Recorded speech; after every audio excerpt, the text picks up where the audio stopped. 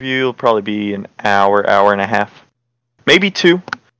But assuming that y'all have already gone through day one and day two of this, uh, this information should still be pretty fresh on your mind. Ain't that right, Graham?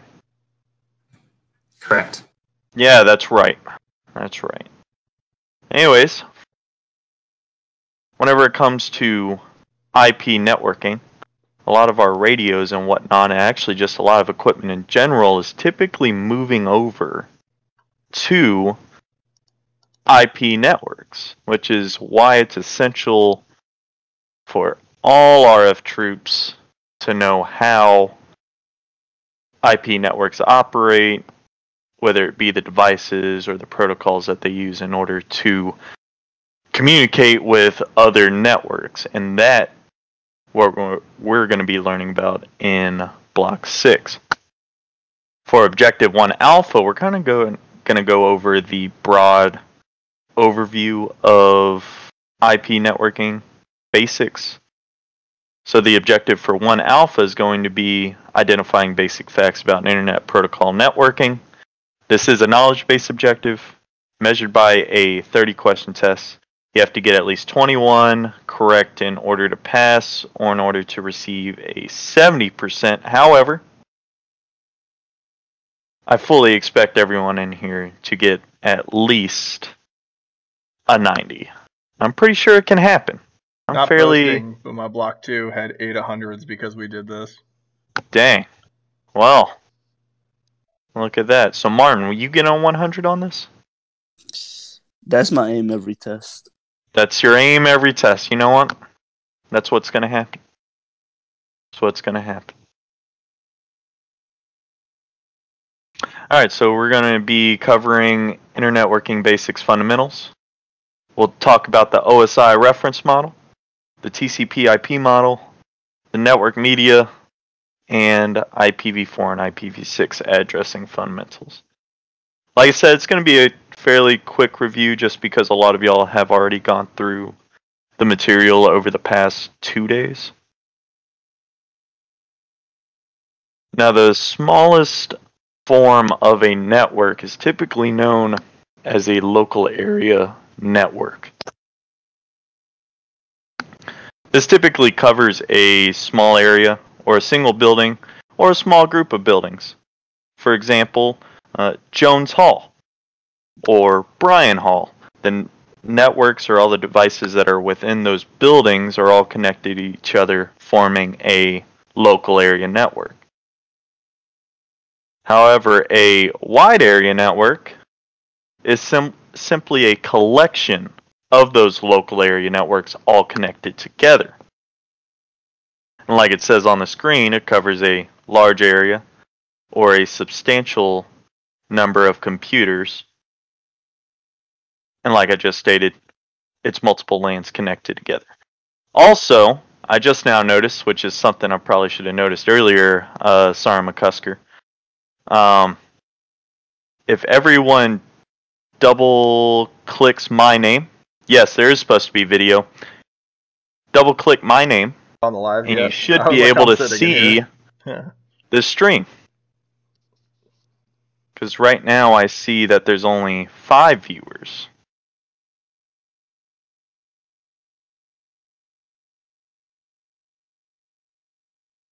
That was my bad. I thought it out by everyone. I thought everyone was already in here. So we have seven people in here right now. Yeah. Eight people now. Alright. Try to get everyone else. That was my bad. I should have. I should have I'm go back noticed that. myself. So we should have ten people in here right now. So only one person's not.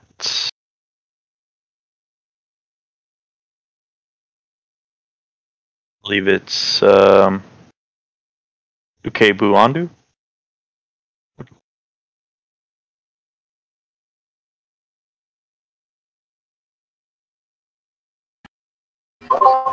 Yes, sir. Um, are you are you seeing? Oh, wait, no. Are you seeing the uh, video right now? No. If you uh, click on, are you're on your phone, aren't you? No, I'm on the laptop. Ah, okay. So if you double click my name, uh, you should be able to watch the uh, stream.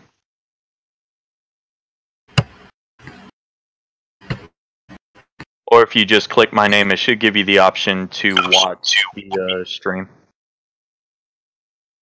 There it is. I believe that's totally everyone just now, tried to click your minimize button on the stream to try and help that person Yeah. because I got it on full screen. That was that was the thing that just happened. All right, cool. Well, now that everyone has the video to it, now we can actually continue on. So, like I said, wide area networks made up of local area networks that are connected together. Now, several specific networks that we're going to discuss are going to be the internet, the intranet, and extranet. So, internet, as we all know, is a large public network because everyone has access to it. That's right. Prawl, uh, Graham has access to it. Uh, I, am man, I feel like I'm gonna butcher some people's names just for like the first day or two, but I'm sure we'll all be okay with that. But everyone has access to it. It's used to share information with everyone on it. Now, an intranet is simply a private network. Can anyone give me an example of a private network or an example of an intranet?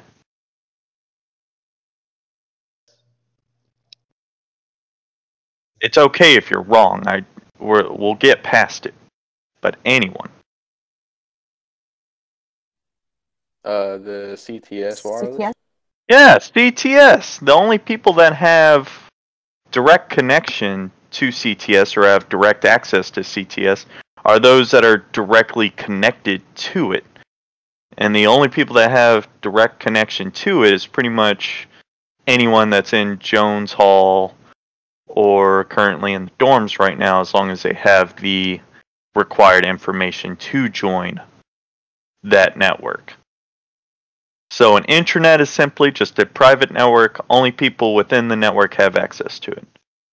An extranet is a private network that's accessible to select outside users, meaning that people that aren't directly connected to this private network can still form a secure connection to this network. Does anyone know with what a user has to have in order to connect to the extranet? An opcrit badge, so they No. can get into the base. Sorry, it's not that. Close. I mean, not not really, but you know what? You tried. Credentials? I'm sorry. Some sort of login credentials?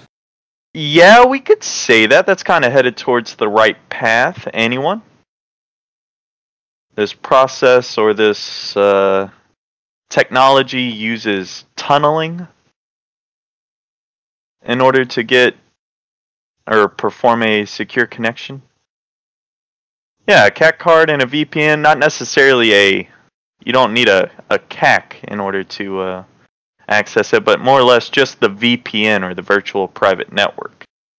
Now, if you're wanting to access the AFNet from off base, for example, like if I have my government computer right now at home and I tried to get access to the Air Force network, I would have to log in with my CAC card and then I would have to use the VPN that's installed on my laptop in order to connect with the network on an Air Force base, even though I'm connected to my Wi Fi at home. So, intranet is just a private network, extranet, private network accessible to select outside users. All right, now there are three different categories of wide area networks. We have MANs, CANs, and GANs. Now, what do those three stand for, class? Metropolitan Area Network. I'm sorry, say that again. Metropolitan Area Network. Metropolitan Area Network. Okay, that's one. Campus, Campus area. area. Campus Area Network and Global Is it global? Yeah, it's global. That's right. Connection points around the globe. Now, the those terms are kind of subjective, just because you can use those terms depending on the amount of area it covers. So, for example, a campus area network covers a campus area. I know, a little hard to understand that. It's right in the name, though, so don't get confused on that. Pretty much campus area, school campus, university. And then a metropolitan area network covers a few blocks of a city.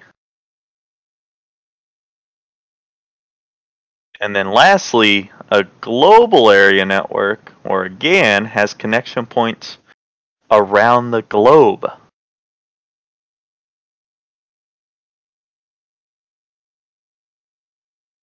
Make sense? Yep. I would say it makes sense. Any questions so far? Nothing? Tracking. Tracking. Uh, we don't say that in here. We say Raj. Raj. Raj. All right, now networks typically fall under two different types of network classifications, and those classifications are determined by the roles that the computers or the devices play on that network. Now, the two roles that can be performed by the devices are known as a client or a server. Servers share resources or serve and manage network resources like email servers, file servers, and printer servers. Clients request the access to those shared resources, access network resources like host computers, they could be the printers, and they could be things like cameras that are connected to the network. And now we can move into the two different types of network classifications. Like I just said, it's determined by the roles that are played by computers on the network. In a client server network classification, most devices act as clients, while maybe one or two computers are acting as servers. Can anyone give me an example of a client server network? The Wi-Fi that we're currently using. Uh, yeah, we could say that. We could say that. What's one? What's another one? Where are y'all pulling all your school documents from?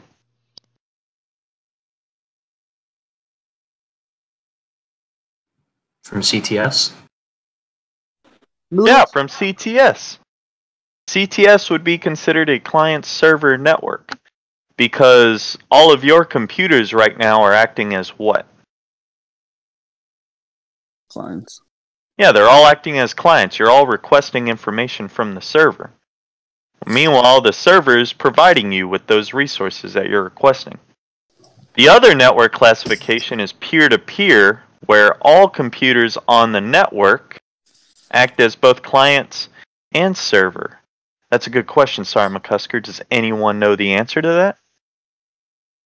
I believe he's asking if AFNet is a client server network classification. Would that happen to be true, Clarence?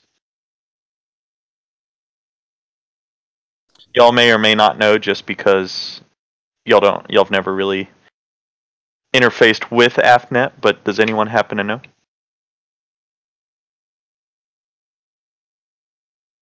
Anyone want to take a guess at what network classification it is? Client server. Yeah, it's definitely a client server. My all, all of our computers so still smart. act as clients.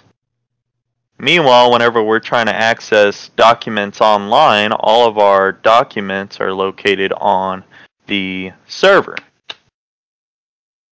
Anytime, Sergeant McCusker, that's what I'm here for. Alright, now enabled, or I'm sorry, in order to actually access a network,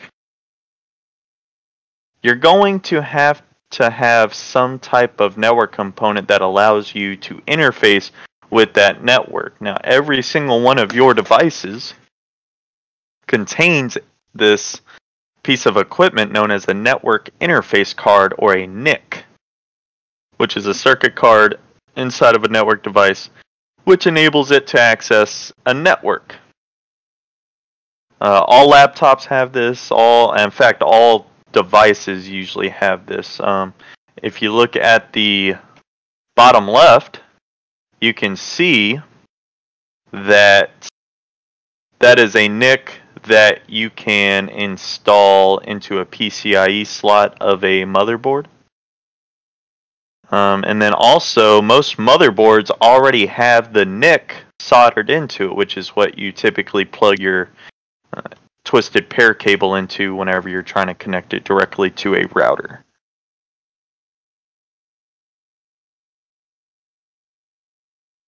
Uploading a picture. Yeah, look at that.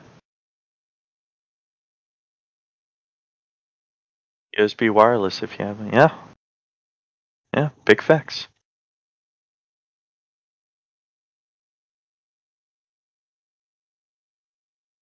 All right, now our NIC actually contains something extremely important for our devices, which is our media access control address or our MAC address.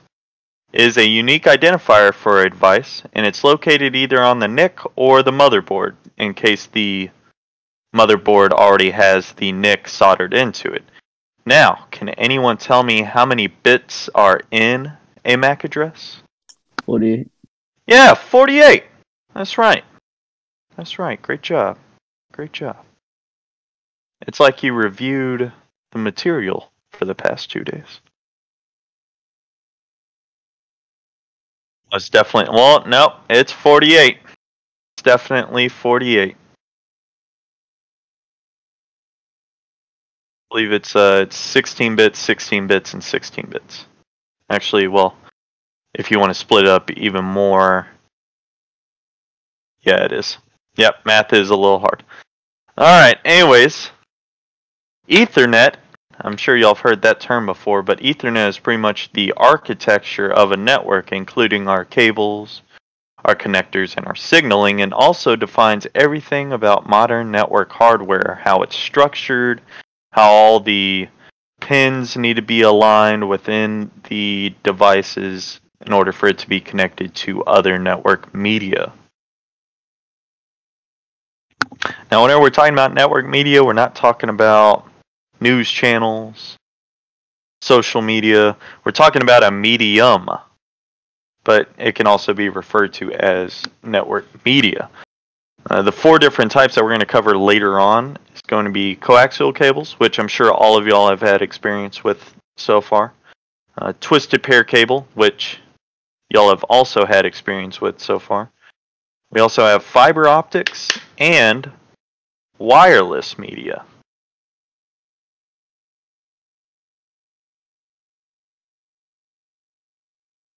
Now, software is the language that the machines on the network use, typically referring to your operating system, certain protocols, the TCP IP suite, and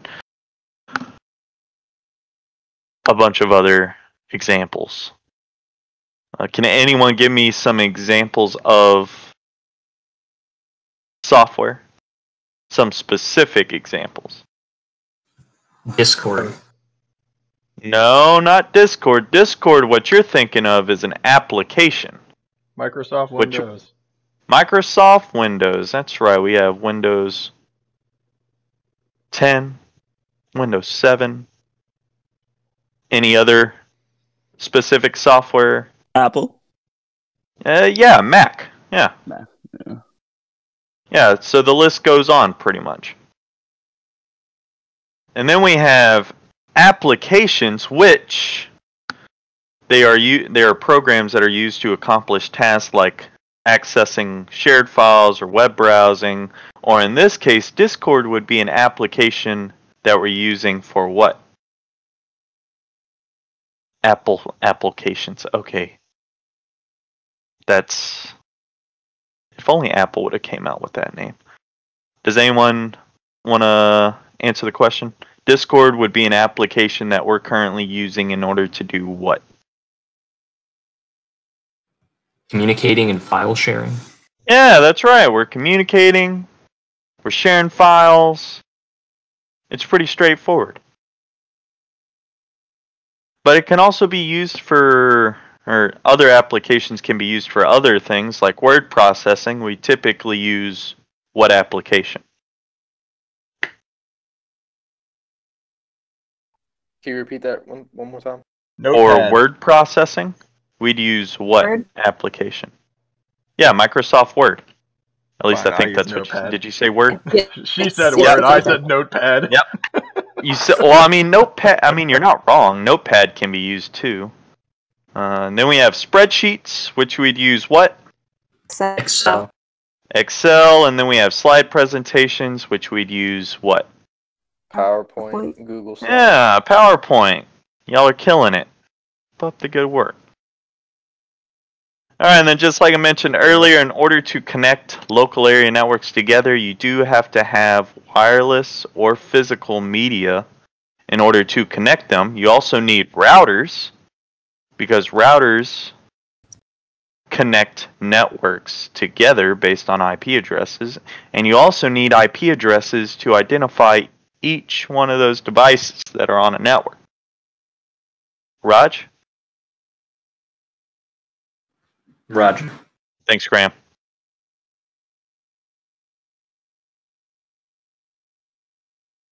All right, network components provide intelligent directions so that data can flow within local area networks and between local area networks. Now, typically within local area networks, you're going to be using switches. Um, and whenever it says provides intelligent direction, that means is those devices can identify the specific devices that are connected to it simply by looking at their MAC address for switches and for routers it would be their IP addresses.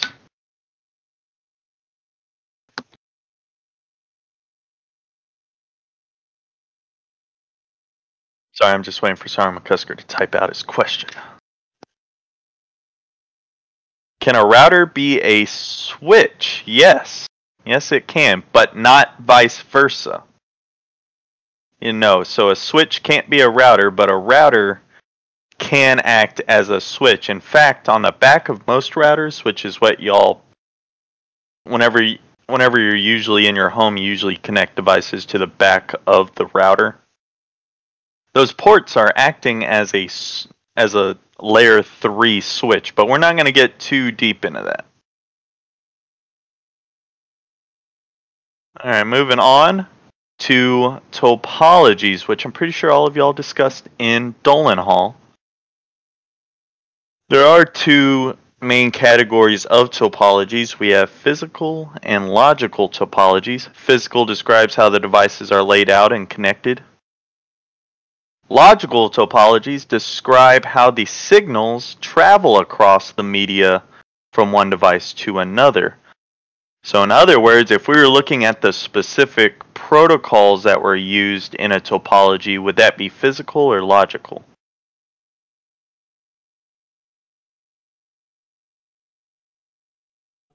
Could you repeat the question, please?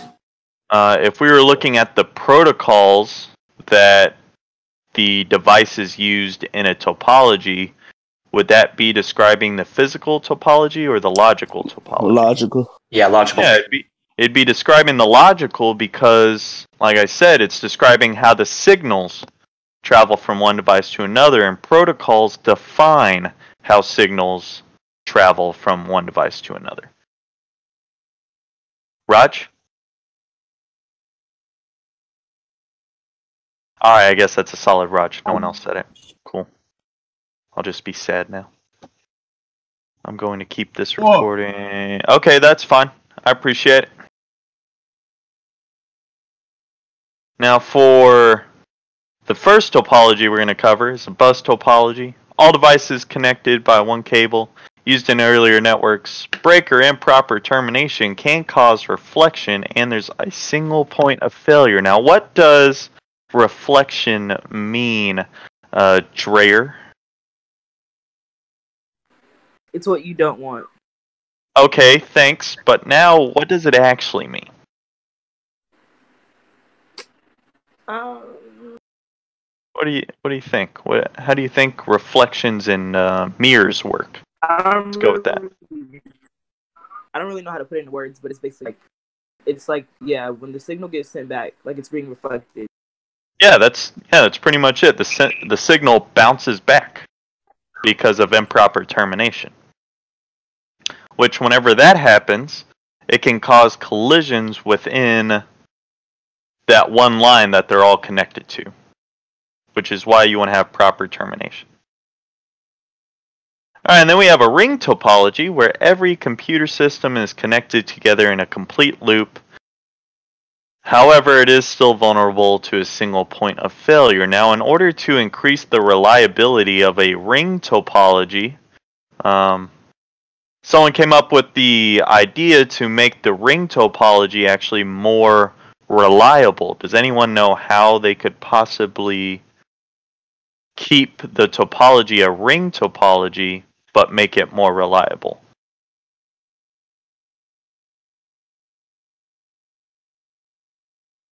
Anyone? Anyone? No one?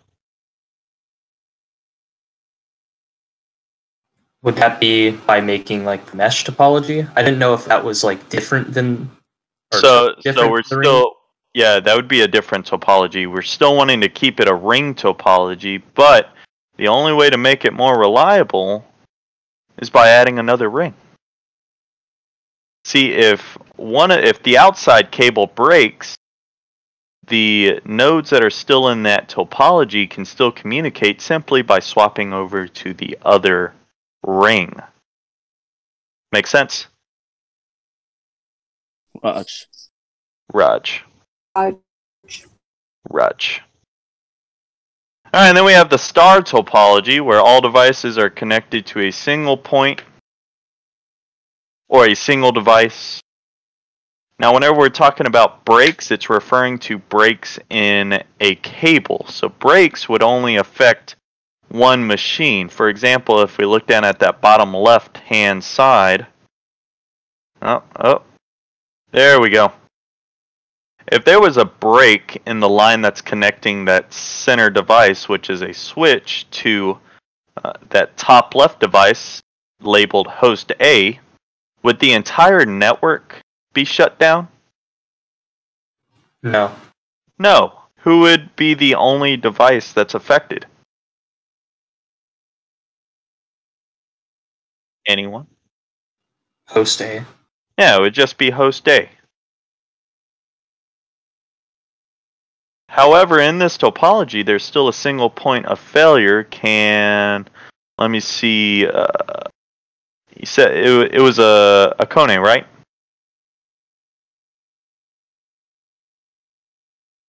Sir. Um, can you tell me where the single point of failure is in the left diagram? The the left diagram. Yeah, in the left diagram. Here, I'll zoom in on it. That one. Where's the single point of failure at? Uh, would it just be the switch? Yeah, it would be the switch because if that goes down, none of the devices would be able to communicate. Raj? Raj? Raj. Raj. I'm digging it.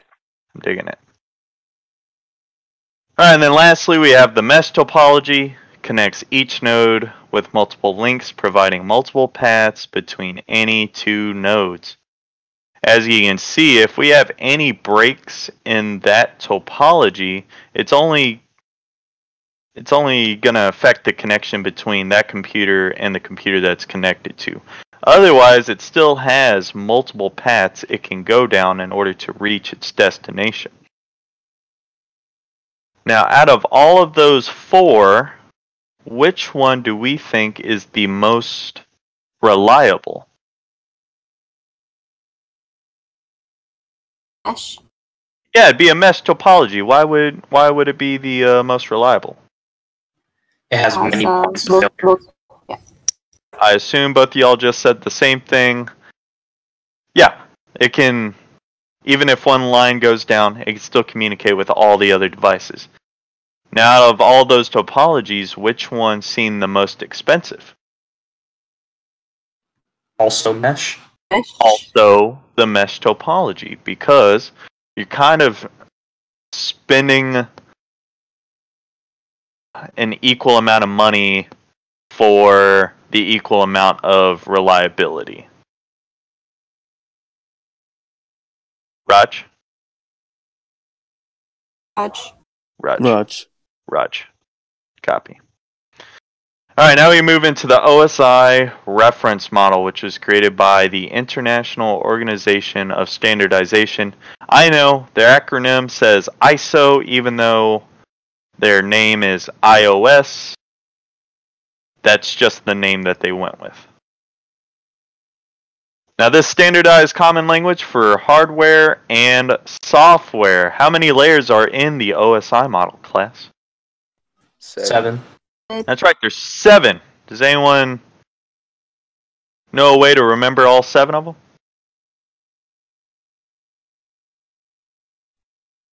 I don't remember like an acronym, but I remember all seven. That's weird that you remember all seven, but there's no acronym for it that you remember. But that's okay. We're gonna we're gonna go over it at the end of this. I know it starts with people need, but I don't remember the, the end of it. There's no way it could start with people need. That is there's no way. Oh, okay. Sorry. But that's okay. That's okay. It's like, please don't not throw sausage away or something. Close, except that you had a double negative in there, but that's okay. We'll uh we'll go over we'll go over that acronym uh, after the seven layers. So for the first layer, the physical layer determines two negatives does make a positive. That's right. The physical layer determines how data is placed on the network media and things that operate on this layer typically are cabling, our connectors, our hubs, and our NICs or network interface cards. The data link layer defines the rules for gathering and completing all elements that make up the whole data frame so it can be passed to the physical layer. Specific devices that operate on this layer that we're going to cover in one Bravo most likely tomorrow. The specific devices that operate are the bridges and the switches. Also, I realize I just said that we were going to do it tomorrow. I meant Monday because tomorrow is Saturday. And I'm sure y'all don't want to spend your Saturday listening to me talk.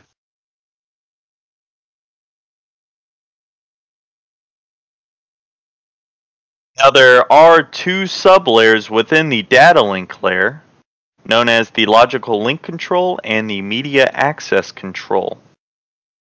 The logical link controller LLC is a sublayer responsible for error correction and flow control.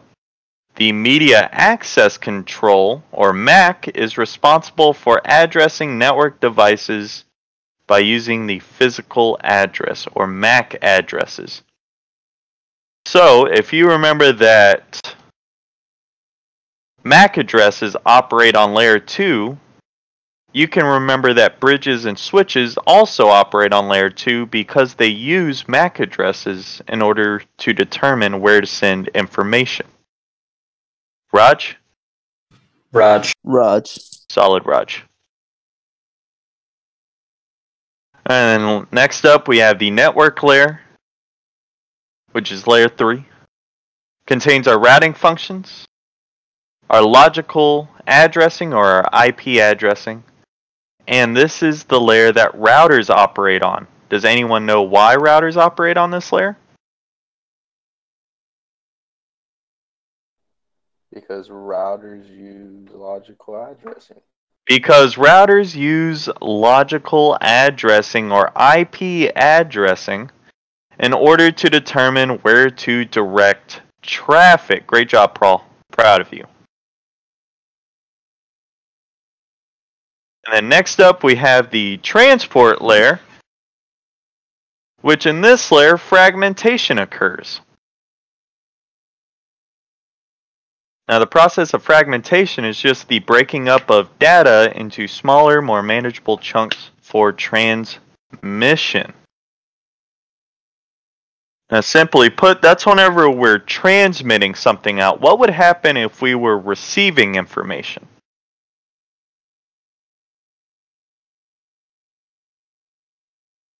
Anyone? It would probably put it back together. we're probably going to put it right back together or it's the reassembly of data. So whenever we're transmitting data out, it's fragmentation. Whenever we're receiving the data on this layer, this is where it gets reassembled.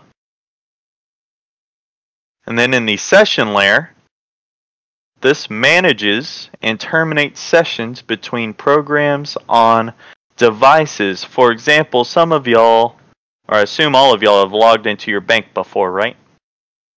Yes? Maybe? Yep. No? Yes. I would hope so. But if you were to log into your bank account online and you were to, I don't know, not move your mouse for 10 minutes or so, what would happen? It would time you out. It would time you out or it would terminate your session that you had with that online account. Raj? Raj. Raj. Right. Alright, and then we have the presentation layer, which manages and translates between the session layer and the application layer.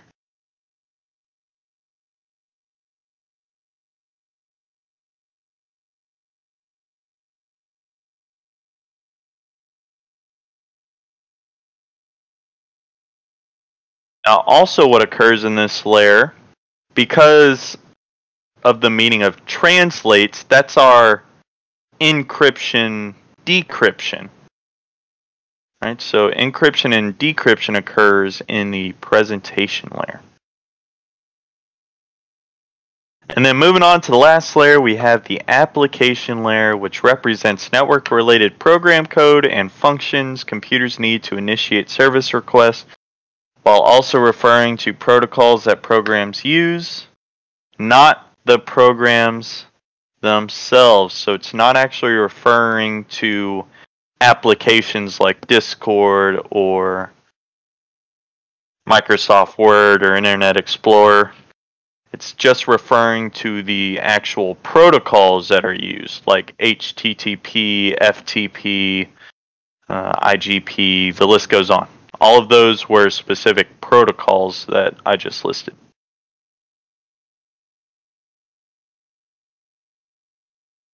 Any questions so far? Nope. Good so far. Good so far. Okay. Okay. I can dig it. Alright, so anyways, in order to remember all seven layers, which, I mean, if you have them all memorized, that's cool. But if you need help remembering all of them in a different manner, you can always go with the please do not throw sausage pizza away. Or you can always go with please do not teach stupid people acronyms. Uh, please do not teach small people acrobats. The the list goes on. Whatever helps you remember all seven layers.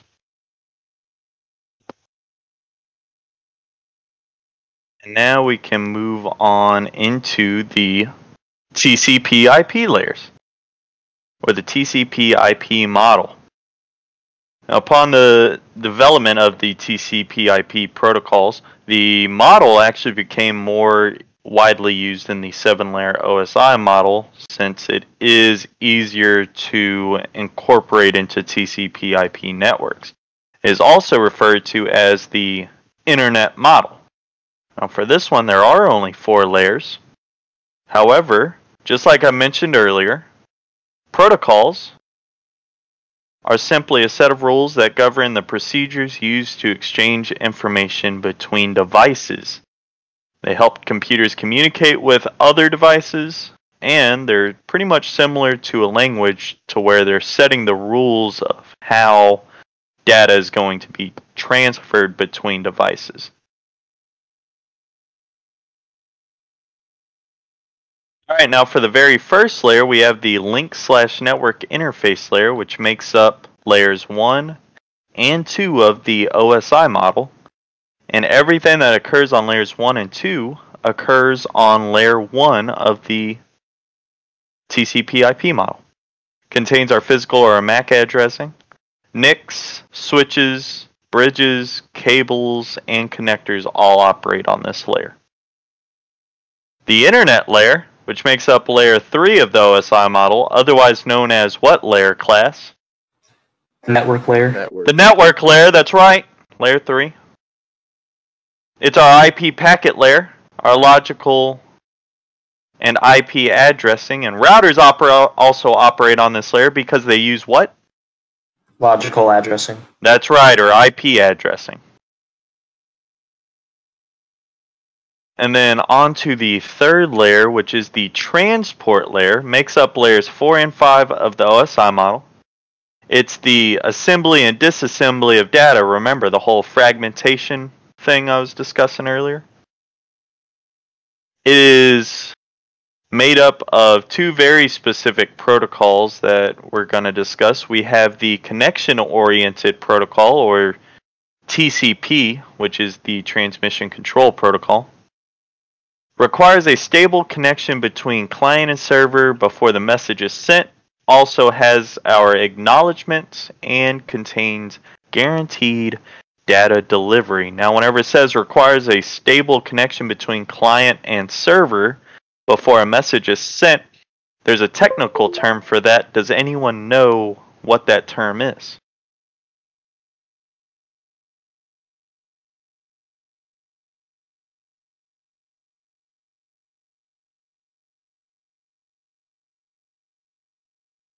Hello? Yeah, I can hear you. Can you uh, can you repeat the question? What is the technical term for requiring a stable connection between client and server before a message is sent? Connection oriented. Well, I mean,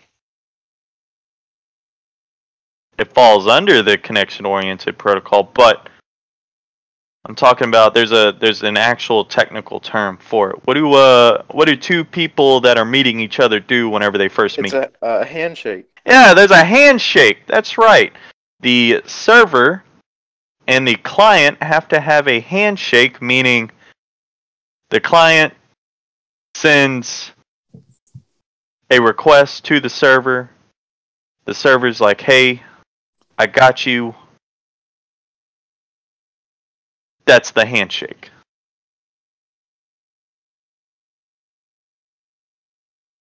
I have seen this in Wireshark, and I'm pretty sure I might have a picture of it.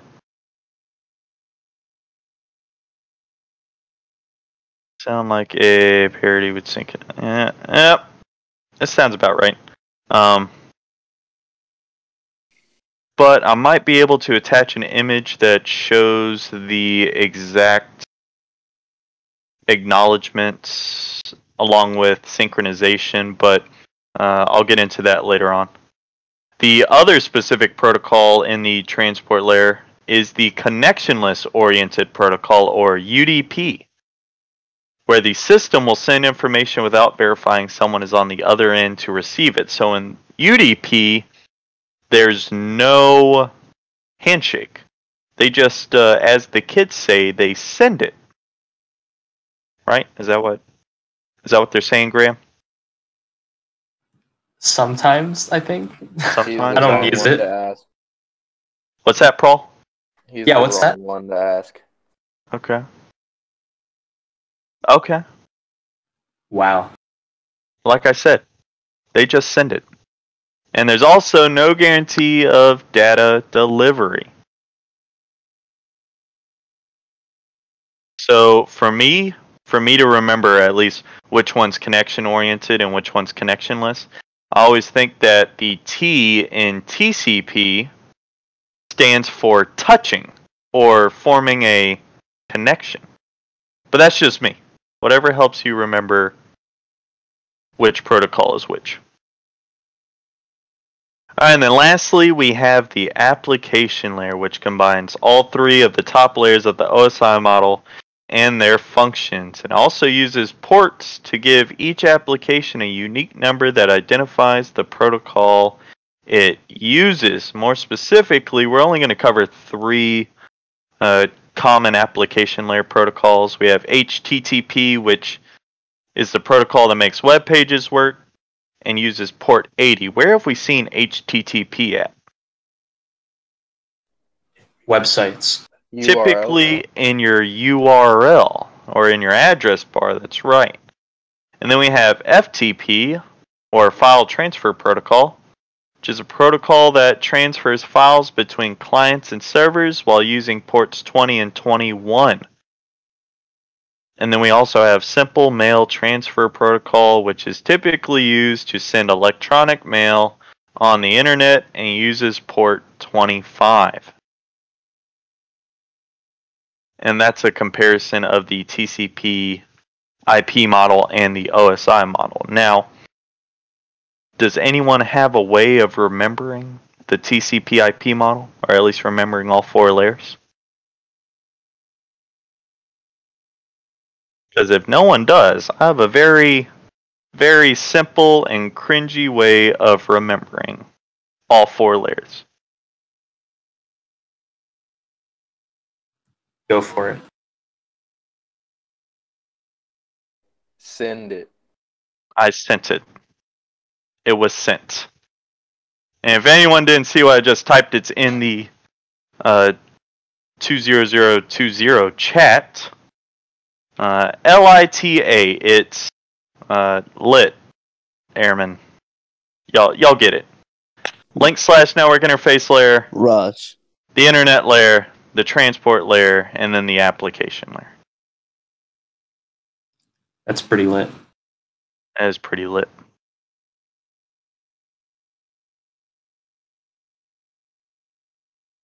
Everyone still good with the uh, video? Raj. Raj. All right, let's go ahead and move on.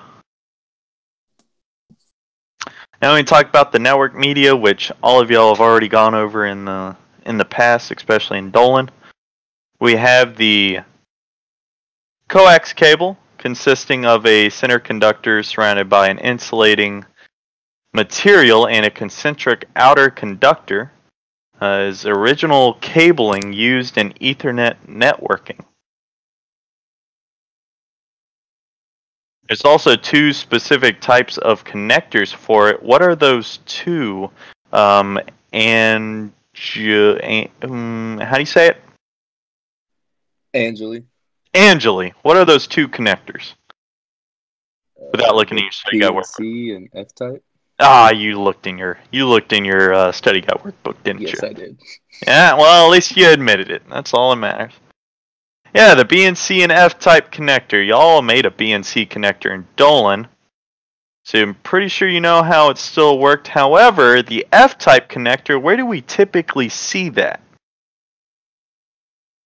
Like, where have we seen that cable laying around at? Televisions. Oh, yeah, well, no, we're not going to cover N type. This is more just for IP networking um, cabling. But there is an N type, which, yeah, it's it's F type, F type, like fiber. No, no, not not like fiber. It's just F type, not FO, but just F.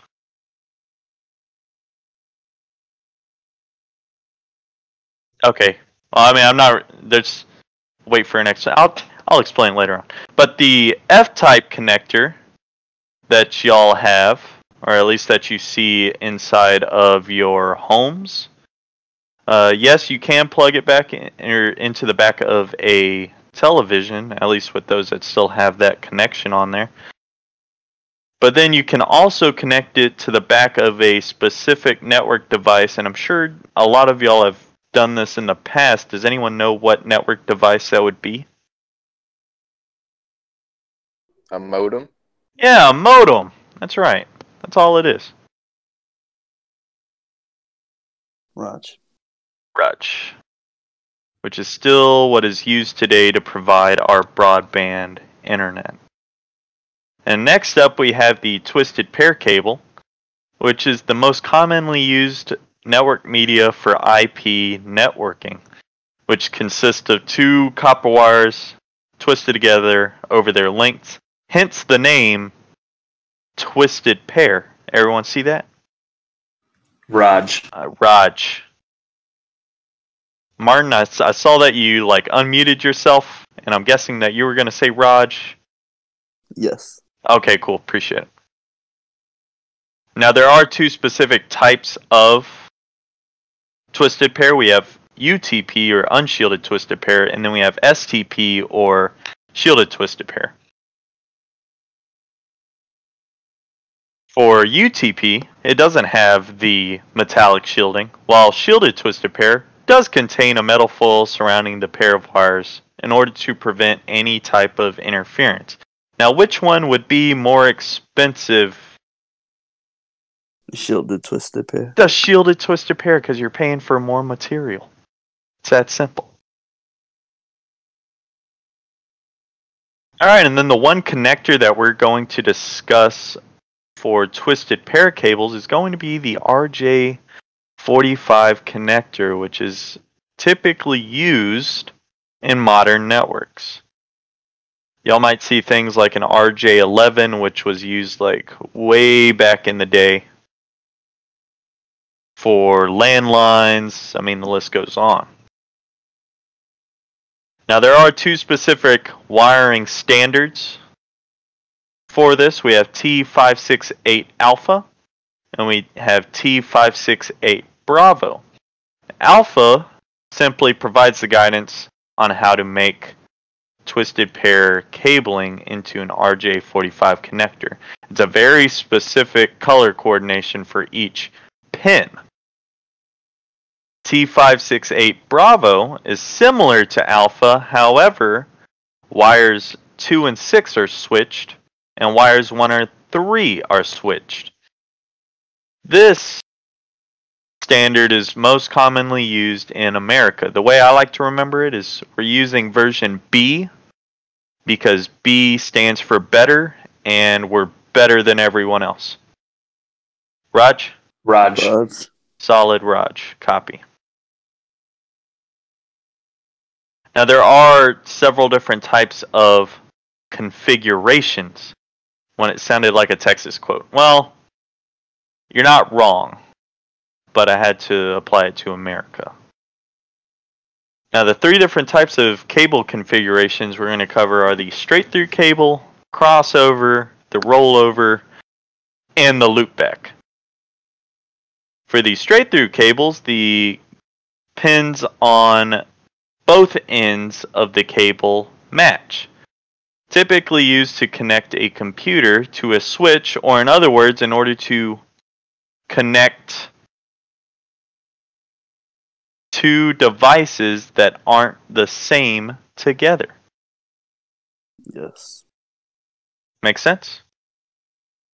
Feel like it makes sense. Oh, sorry, Young left us? Alright, well, sorry, Young left us, I guess.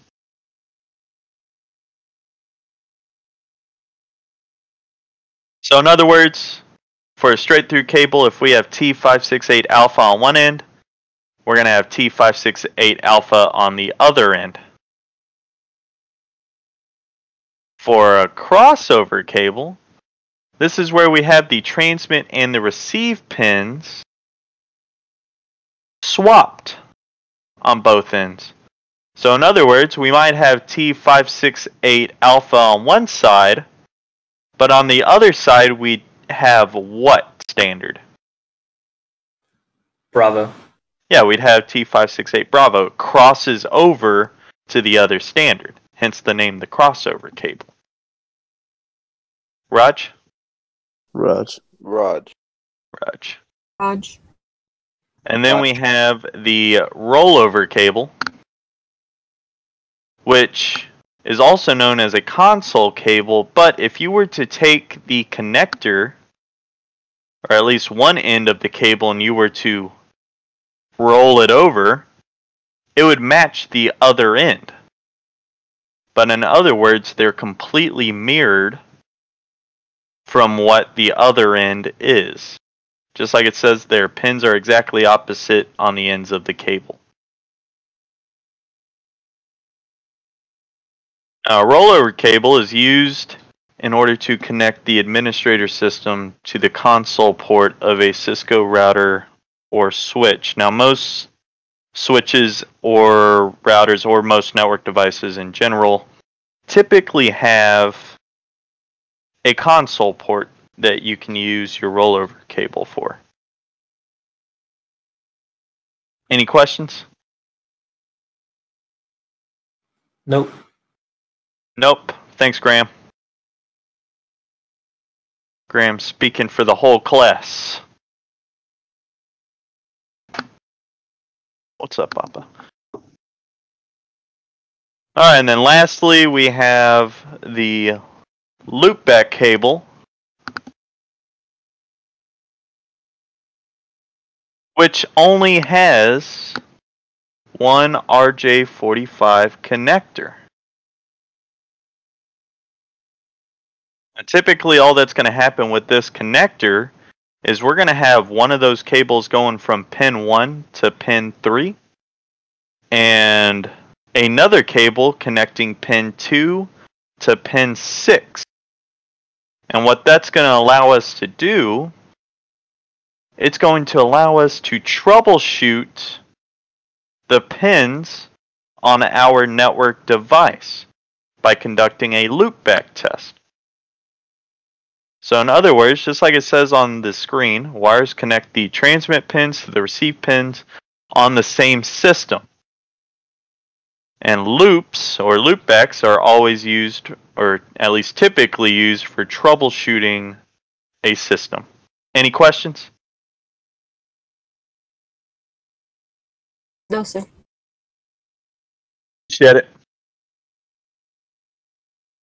Alright, now we can move into the several different categories, which I'm sure all of y'all have mostly heard of Cat 5 or Cat 5e. hmm But prior to those, we did have Cat 1, Cat 3. Uh, Cat 1 offered 1 megabit speed and is used for telephone voice, not for data communications. We had Cat 3 offering 10 megabits uh, per second, and then Cat 5 offering 100 megabits per second. And moving into Cat 5e, or actually, does anyone know what the E stands for? Anyone? Extra. Not extra. It's Express. no. Anyone else? It stands for enhanced. Cat 5 enhanced because it's a better version of the normal Cat 5 offering 1 gigabit speed. And then we have Cat 6 or Cat 6 Alpha which offers 10 gigabits per second. Any questions over the different types of cables for Twisted Pair? Anyone? Sir.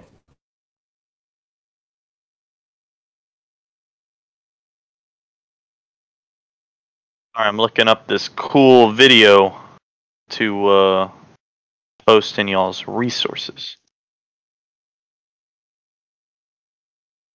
Or I don't want it to play.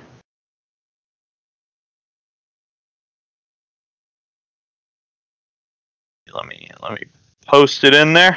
Well, bam.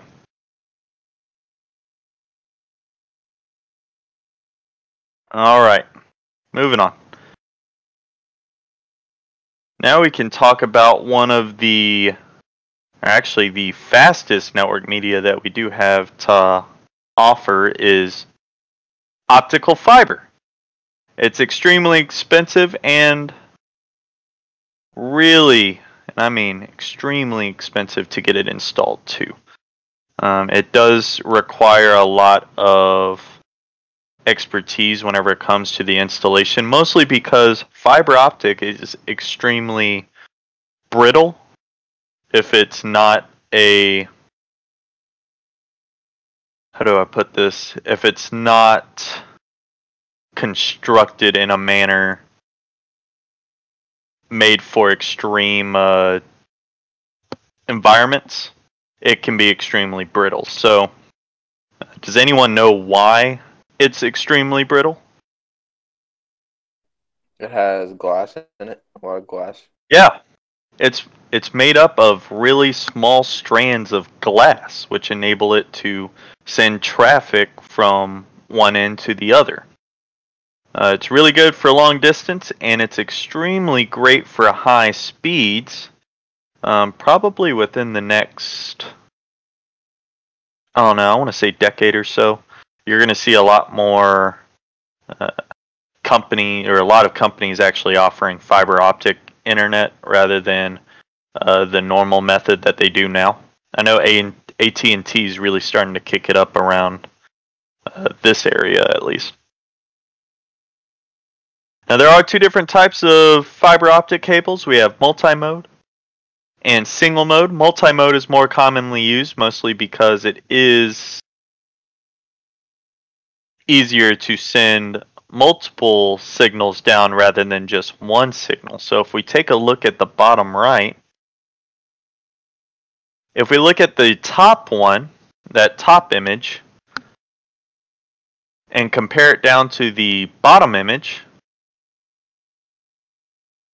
which one can contain more signals? The top one. The top one, because why? Why is it able to? Uh, There's Contain more multiple signals. light paths. There's multiple light paths for the signals to distribute to. Exactly. yeah, There's a larger Exactly. diameter. because there's a larger diameter. There's a thicker glass core, or a thicker core glass, however you want to say it. Uh, whenever you compare it to the single mode, which can only hold one signal. Here's the thing, though, because single mode is thinner, it can actually send that signal further than multi-mode cable. Does that make sense? Raj. Right. because it's more concentrated over that thinner core rather than the uh, thicker core of multi-mode. Raj.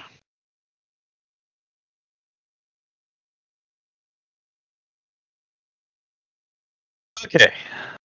And then we have the types of connectors concerning fiber optics. We have the straight tip or the stick and twist because it provides the same exact operation as a BNC copper connector. Does everyone know what that means by the BNC copper connector? It performs the same functions. You still have to twist and lock the connector onto the connection. Raj? Right. Raj. Raj. And then we have the subscriber connector. Connectors have a square molded plastic body and a push pull locking feature. And if you watch that video, which y'all can watch it uh, whenever, uh, it does show you the two connectors for it. I think it's more towards the end of the video that they show the straight tip and the uh, subscriber connectors. And then next up, we have wireless media types.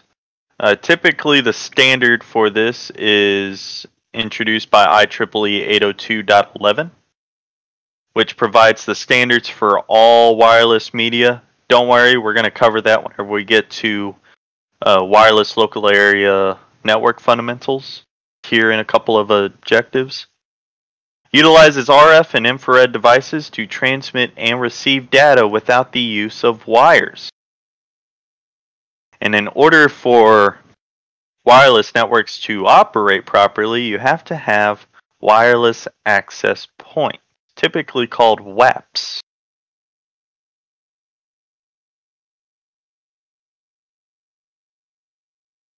Any questions so far?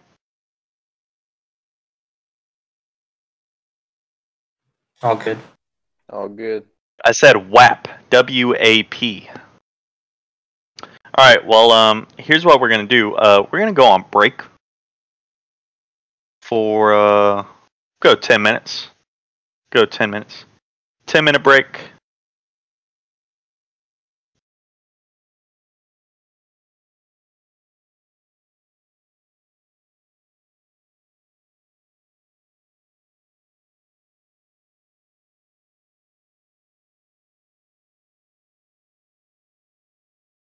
Oh, okay. Well, I mean, I, I still gotta wait for everyone, but that's okay.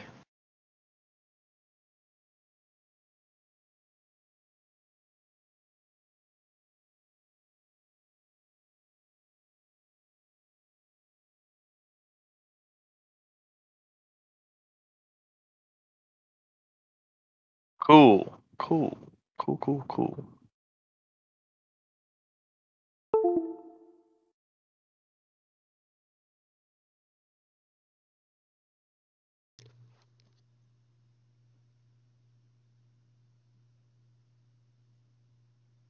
Yeah, I'm back, man. Nice. I think.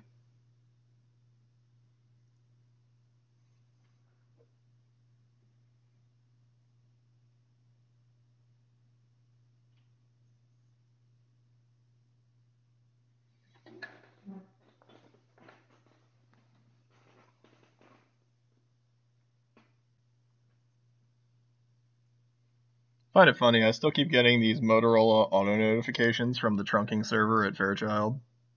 Nice. That's So uh, every time weird. I get them, I send them to you guys in Block 5, so you can show your students what it actually looks like when you get a notification from the trunk going down. It'd be like that. Yeah, It'd be I, like I think that it's a good real world example for them. I've been sending them to Boudreaux, and I think he's used them a couple times in his class to kind of show them what's happening. So, uh, did you know that Discord actually does like video chats now? Yeah, man, I was doing that earlier. Yeah, no, I didn't. Uh, I didn't know it was yeah, actually you literally doing just have to click the too. video section, and then you can do that. And I think you can Yeah. do it with multiple too, but I'm not sure. You can also record video on OBS, but I can teach you about that later if you want. Maybe. But Maybe. Uh, your recording sounds really good so far. I'm That's gonna good. try and figure out how to mash the slides in there. I realized I could have been scrolling through them on my screen this entire time had I had more time to. Oh, because you're up. recording your screen right now. Right, so it, it's Yeah. already set up to capture PDF on my screen, Raj. but I didn't have the slides open and going through them while you were doing it. Makes sense. So I'm gonna have to go back in there later and add them, but should be pretty easy. Eight, nine. But I'll get the audio uploaded for you first, and so your students can re-listen to that, and then I'll, I'll add the slides later. Raj. All right, where's everyone at? There should be uh, there should be eleven people total in the uh in the stream, and I only see eight. Are you planning on finishing up around 11? Um, to be honest, maybe eleven thirty ish. Because IPv4, or at least explaining subnets and whatnot. Because I think what I'm probably gonna have so them I do didn't is miss that yet. no, no, no, oh, you haven't. good. Yeah, IPv4 is just a little rough because people tend to get lost on subnetting. Yeah. No, I, I'm right there with you, man. I have to relearn it every single time someone talks about it. But the Net Plus book is actually um, No, that book you guys have is pretty good. I think it's actually the same hard copy one that I have that I used to study for the exam in 2011. It's most likely the same one. Yeah, it looks like it looks like the same book.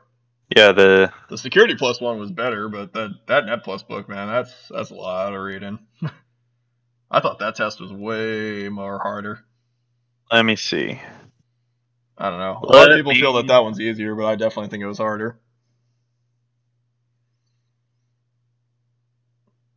That's great though that you all give these guys that book. I love 'Cause I that was they like- don't copy it Sergeant? and people copy Yeah, what's it up? anyway. Uh, what time? You said you're gonna finish by eleven thirty. Okay. Probably eleven. You guys have to go to lunch. Is that why? yes. I mean, that's what I was gonna DFAC's try to tell open you. till DFAC's open till one thirty. You know, Okay. You got time. You got time. I know. Grab a I know. You might be. You might be a little hungry, but um, Grab some of your Q snacks is what my my brothers, my uh, my nephew is calling them. I got pizza, Q- so Q I'm chilling snacks. for now. okay.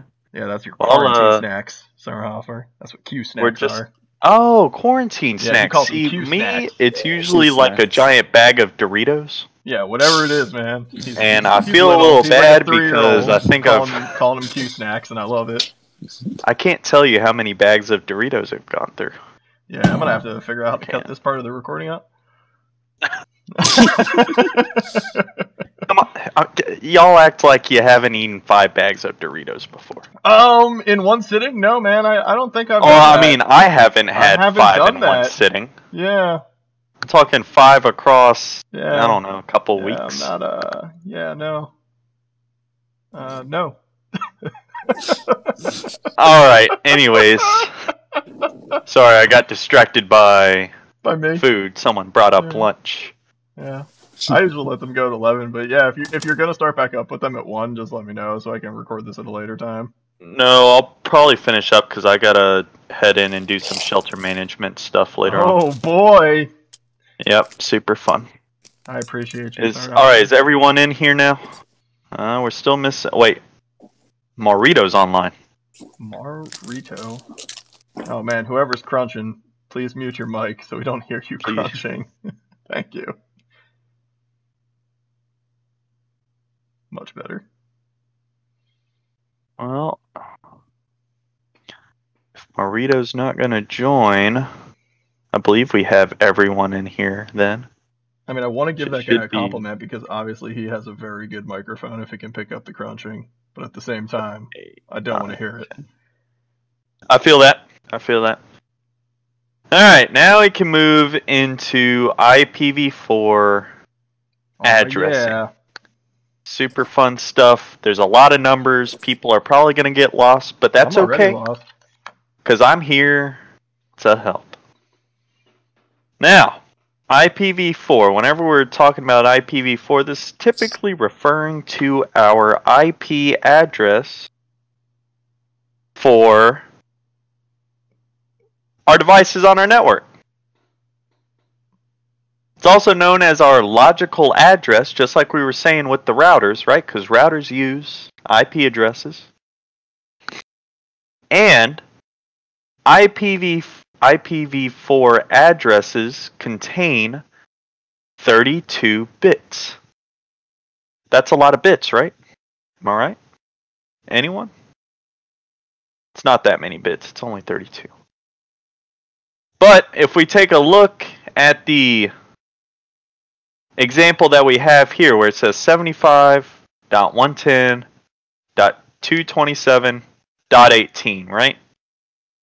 That's written in dotted decimal format. What's Is up, the Paul? stream still on the the network plus? No, frame? no, I should be I should be on the um It- It just went back. Hey, it's you back just to the changed it on mine too. It it switched back and forth. Oh, that's that's yeah, weird. so if you click on the other one up top, we can see that. You see where it says Yeah. come to you. So that's all we were seeing. Oh, I wonder why it didn't. Okay, it's is everyone on the slides now? Yes. Yeah, you're Right. selecting. Okay, the that was- now, that's why. I didn't know. I didn't realize that there was a lag if I didn't click yeah, back there's a little bit the. if you uh, don't click on it. That makes sense because on my screen I had it back Yeah, on. I'm sure it the, looked great on your screen. slide. It did. It did. I was killing it. Uh, anyways, in this example, which I'm about to highlight, so I hope everyone can see it, I'm writing it 75.110.227.18. Right? That's in dotted decimal format, which we convert over from the binary format, which in binary format, you're going to see all 32 bits.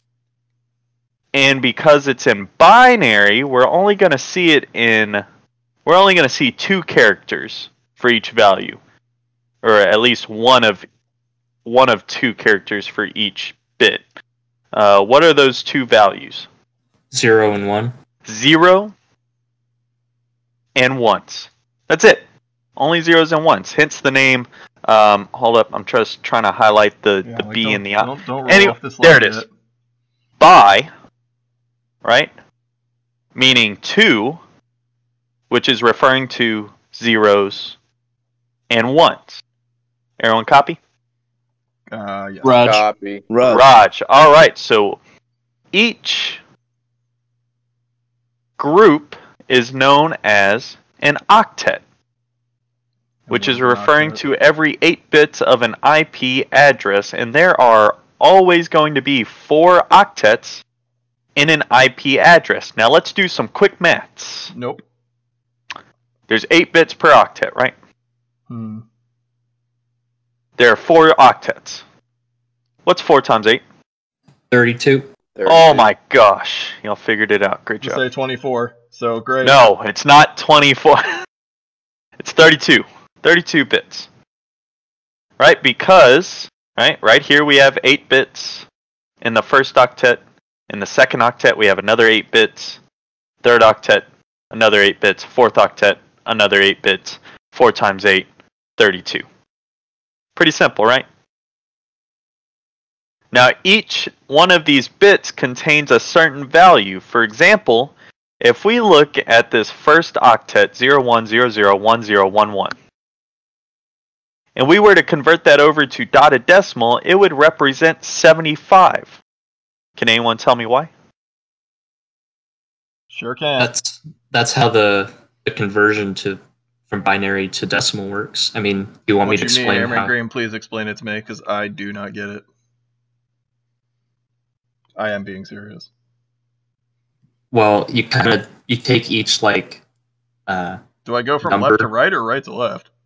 right to left in in terms of like what place you're working with. So like in Mhm. decimal, you have like the tens place and the hundreds place. Wait, what? With binary, you have like the ones place, the twos place, the fours place, and it goes up in powers of two each time instead of powers of ten. Okay.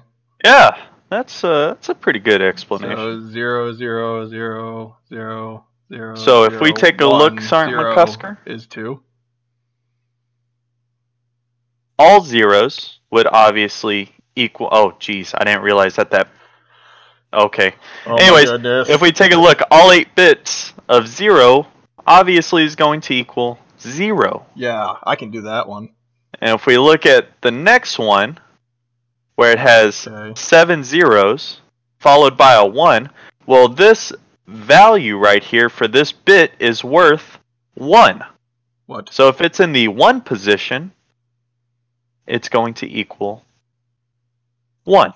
So is there always eight numbers? Yes, there's always going to be 8 bits. Not any more, not any less. There's always Okay. going to be 8 bits. So in this example, for the next one,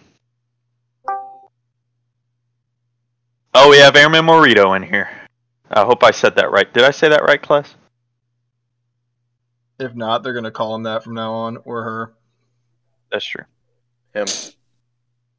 Okay, well, I hope I said that properly. Sorry if I mm-hmm. butchered your name. But if we take a look at this next example, we have 0, 0, 0, 0, 0, 0, 1, 0, Oh goodness.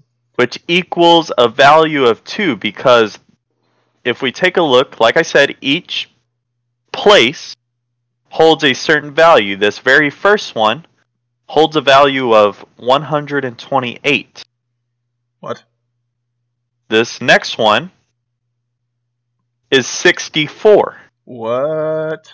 Can anyone guess what this one is? Thirty-two. Thirty-two. 32. 32. That's right. yeah! And then moving on to the next one, which would be what?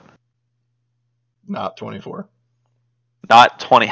16. No, it's it'd be 16. The next one would obviously be 8, Eight. Four. and then two. 4, and then 2, and then 1. Oh, I got this. Sign So, my certificate. I can't do that. I'm sorry. All right. So, if it's a 1, then that value gets added to all the other values, right? Now, which bit determines whether the number is odd or even?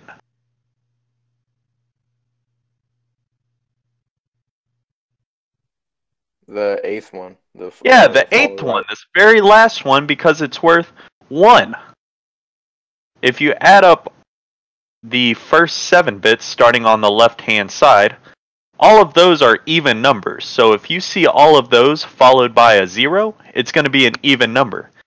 If you see any of these followed by a one, it's going to be odd. Makes sense, right? Yeah. And so the value of an octet can range from what to what? Zero to Zero two fifty five. 255. Zero to 255. Oh That's man, right. I am crushing this now. You are crushing it. I feel so good. All right, can everyone see the uh, slideshow again? Yes, Yes. sir. Cool. Now, if we take a look, the second val, or I'm sorry, this uh, this first octet. We'll do the first octet. We see we have 0, 1, 0, 0, 1, 0, 1, 1, right? Well, we know that this bit is worth how much? Sixty four. It's worth 64. Okay. And then we move on to the next one. How much is this one worth? Sorry, hold it. There it is. I highlighted it now. Eight. That one's worth 8. And then nailed it. These last two bits are equal to what? Three together. Three. Yeah, I mean, if you put them together, they equal 3. So we have 64 plus 8, which is 72, plus the 3, we get 75. Do I need to go through and do the rest of the octets, or is that pretty easy to understand? I'd prefer if you didn't, so I could do it on my own. Okay, okay. But that, Anyone that's else? up to the rest of your class. Anyone else Pretty need me t- to go through the rest, or it's pretty easy to understand, right? Yeah. Remember it I'll, mostly. I'll get back to you when I turn it in. Cool. I'll grade it. Yeah, please do. So remember, if you see all 32 bits, all zeros and ones, it's in binary format. If you see the numbers that have been converted over, for in other words, if you don't see all 32 bits and you see numbers similar to this, anything ranging from 0 to 255, it is in dotted decimal format. Does everyone see the difference between the two? Yes. That's one person saying yes. I feel like that answers it for the entire class. Yes. Raj. Raj. Raj. Fudge. Raj. All right. Now, if we take a look at this example here, we have 172.16.100.48. Obviously, it's in dotted decimal format because it's not in zeros and ones. You see the numbers after they've already been converted. I said that there were four octets, right? We have one, two, three, and four. There's 8 bits per octet, right? Because oct referring to 8. Uh, 4 times 8 is what? Thirty-two. 32. Great job, Paul. Gold star. Now, whenever you're working in an IPv4 network, or at least working with a network that uses IPv4 addressing, or with any type of uh, internet protocol version, you can't have any duplicate IP addresses on a network. Does anyone know why?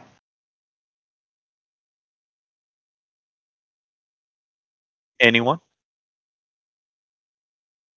If I had two of the same IP Doesn't it cause like a collision or something? Or an error? well, not necessarily a collision, but more of an error because the device isn't going to know Yeah, it can't where to send the data to. Right? Right. Hence Isn't why, that why you can't give two routing protocol addresses to the same device? Yeah. Okay. I wasn't sure if that's what you were referring to or not. I'm starting to remember this stuff, man. Yeah. So each range, just like we already discussed earlier, because y'all figured out the quick maths, each range can value or go from 0 to 255. Now let me bring up some let me see, let me see. We have we have subnet mask. I'm going to need CIDR, classes of IP addresses. All right, does everyone see the slides right now? Sure. I assume everyone does. Yes. Yes. Okay.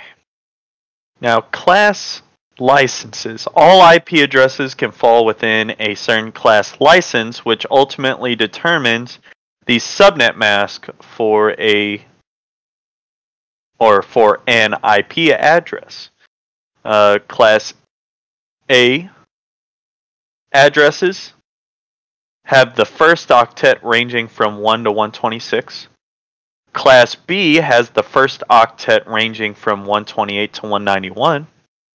Class C has it ranging from 192 to 223. Class D is 224 to 239. And Class E is 240 to 254.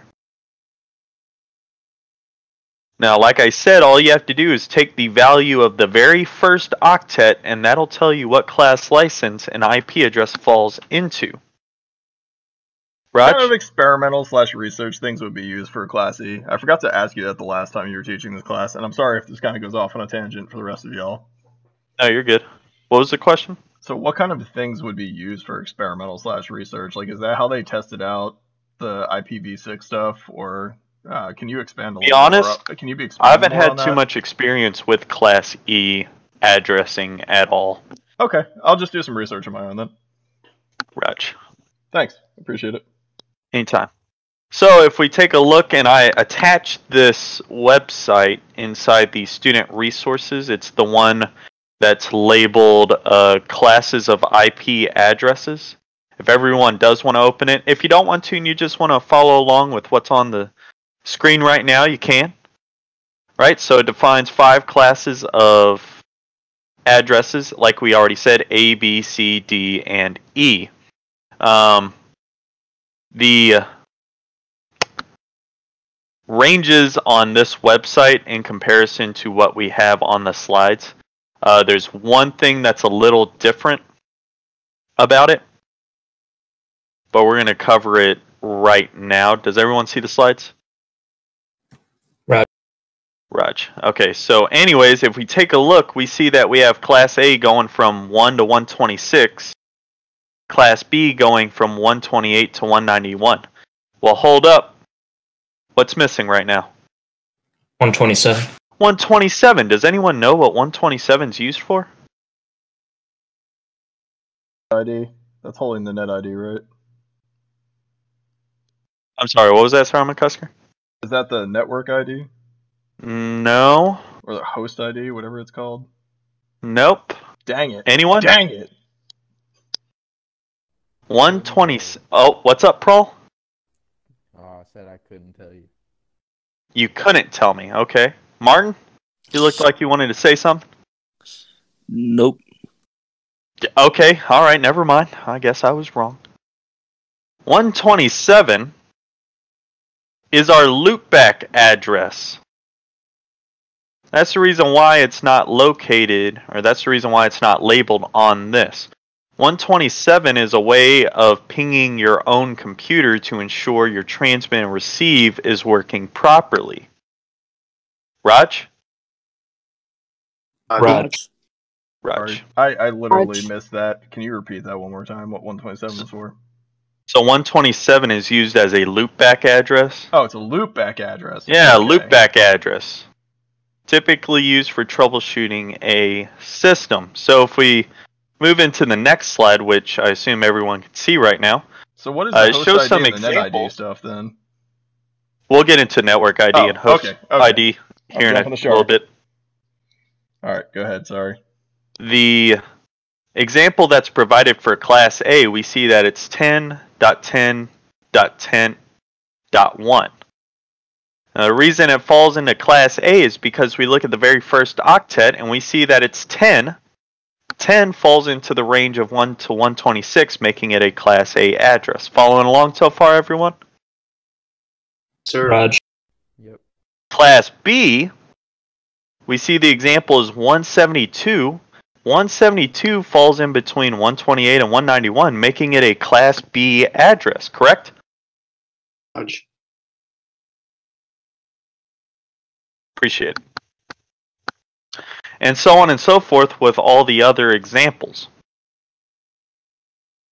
Now, there are two different types of IP addresses, and this is extremely important to know whenever you're looking at the class licenses is determining whether an IP address is classful or classless. Now, classful IP addresses are addresses without subnet IDs. Now, what does that mean particularly? Well, in order to understand what that means, we have to know what a subnet mask is. Simply put, a subnet mask is a value used to help devices distinguish the host network. So if we take a look, Class A has a default subnet mask of 255.0.0.0.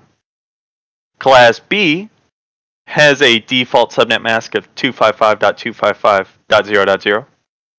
Class C has three octets of 255, followed by the last one being a zero. And Class D and E both have 255.255.255.255. Raj? Rod. Following Raj. along so far? Raj. Okay, cool. Now, if we all take a look, we said that the subnet mask is the value used to help devices distinguish the host network. So if we take a look at this example right here, which I assume everyone can see kind of clearly. Yes? Sir. No? Maybe? Uh, we see in the very top line, that would be our IP address, right? If we all look at the binary format, um, it's then converted over on the right side of the picture to 10.0.0.1. What class license does that make that IP address then? Class A. Classic. Makes it Class A because 10 falls in between 1 to 126. Therefore, the default subnet mask would be what?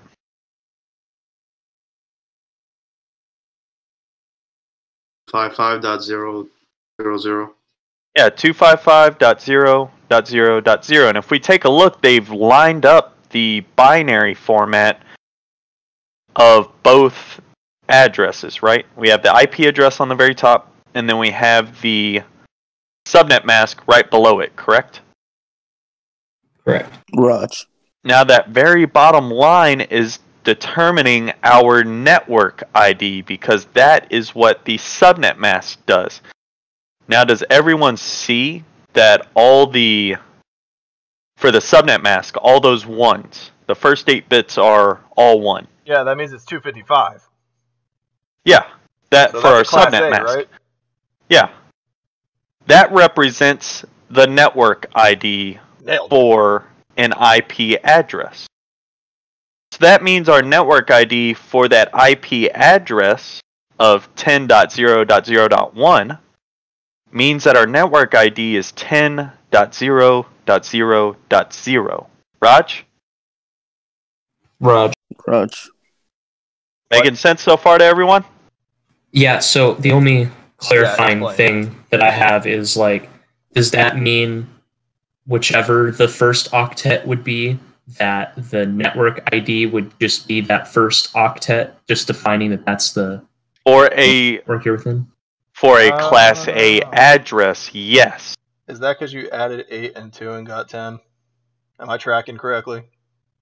No. What? Oh, oh, are you asking for like how did I was Oh. asking where the 10 came from. Isn't Yeah, the 10 the 10 comes eight from 10? Do you see what I'm highlighting on my screen right yeah. now? Yeah. Isn't Okay, zero, so, one zero um, isn't that two and then you add ten, right? Yeah, Or two and eight There's one zero added one together. zero, just 10. Uh, zero zero zero zero one zero one zero is ten. Oh, okay. So I just thought you were supposed to add them. My bad. Well, no, you did. I mean, you added them together. You added Oh, okay, the so I still did it right. Yeah, you add the eight and the and the two, Crushing and that it. equals ten. So, for the default subnet mask, all the ones that are here are going to represent the network ID. So let's move on to another example. We can look right here at this address and we see that our network ID is used to differentiate networks from one another. In other words, it identifies the network that a device is connected to. In this example, it says 202.120.10.x. Let's replace that x with any random number. I don't care what number you want to pick. We'll say that it's 17, right? 202.120.10.17. Well, what class license does that IP address fall under?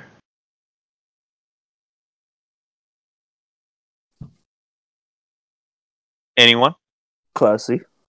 Falls into a Class C address because 202 falls in between 192 and 223. Therefore, the default subnet mask for a Class C address is what? 255.255.255. 255.255.255.0. That's right. There we go. Okay, now that I'm not lost anymore. Man, I'm so glad So- the other people in your class are smart. Yeah, I know. They're fr- they're uh there's some smart ones. So that's So- uh, last octet would be the only one assigned the zero for the network ID. Yeah. That's right because the for example, if I had the subnet mask underneath it or if I were to convert this all over to binary, right? How many ones would there be for the subnet mask?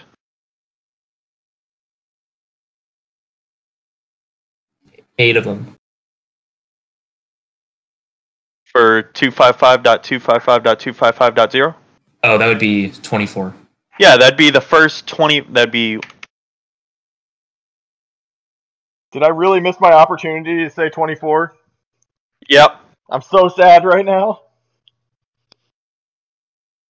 right? That's I just typed it in the chat in case anyone's wondering where I'm typing this in at. Um, that would mean that the first three octets represent our what? Anyone? Network ID.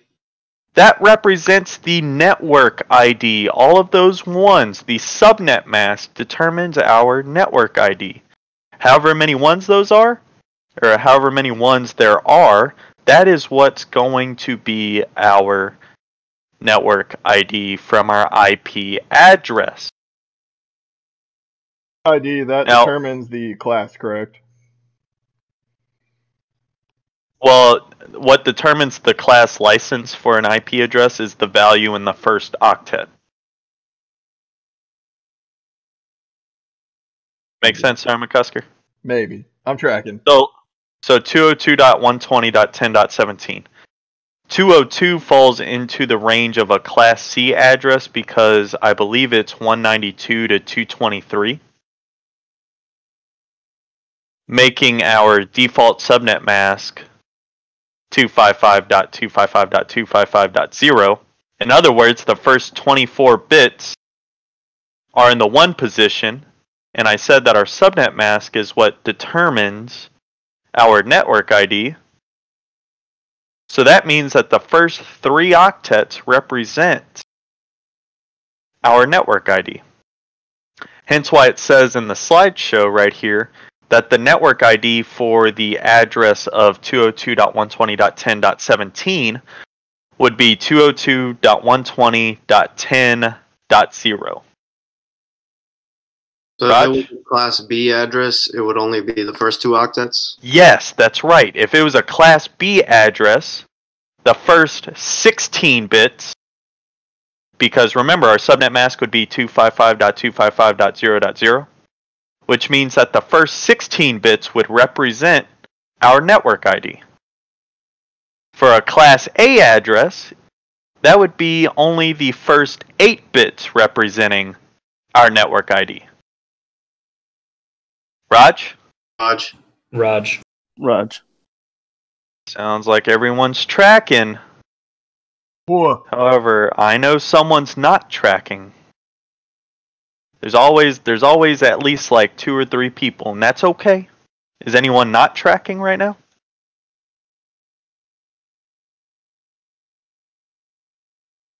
I'm assuming not. Now's your now's your time to shine. Anyone? Okay, we're gonna press on then. Now, with our network ID, it can't be assigned to a specific computer or device. A specific computer or a device that's on a network is going to get assigned the host ID. Now, in that previous example of 202.120.10.17, the 17 would represent our host ID right? Because our subnet mask, like I said earlier, the ones would represent our network ID, but all the zeros would represent our host ID. Raj? Raj, Raj, would it be called um, the for the host ID? I assume you could represent that with like 0.0.0.1. Would that also? yeah, that's right. Yeah, so so for that specific example, for 202.120.10.17, our host ID would look like I'll type it in the chat.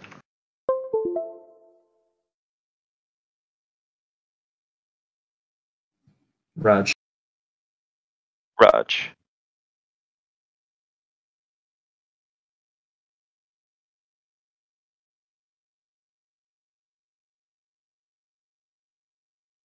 Jimmy, you had something to say?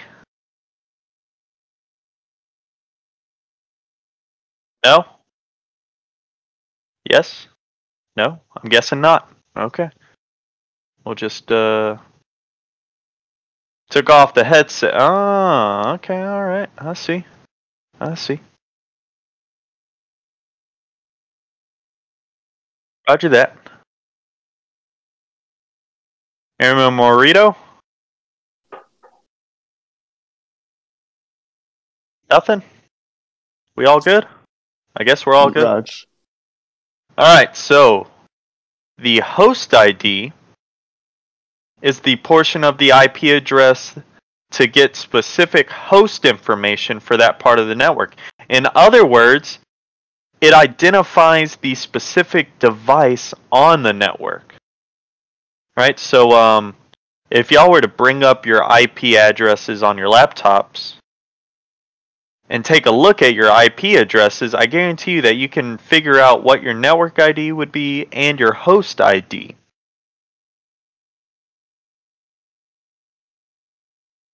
But now we can kind of move into. Actually, I can go over. I've already gone over the portion with the subnet mask.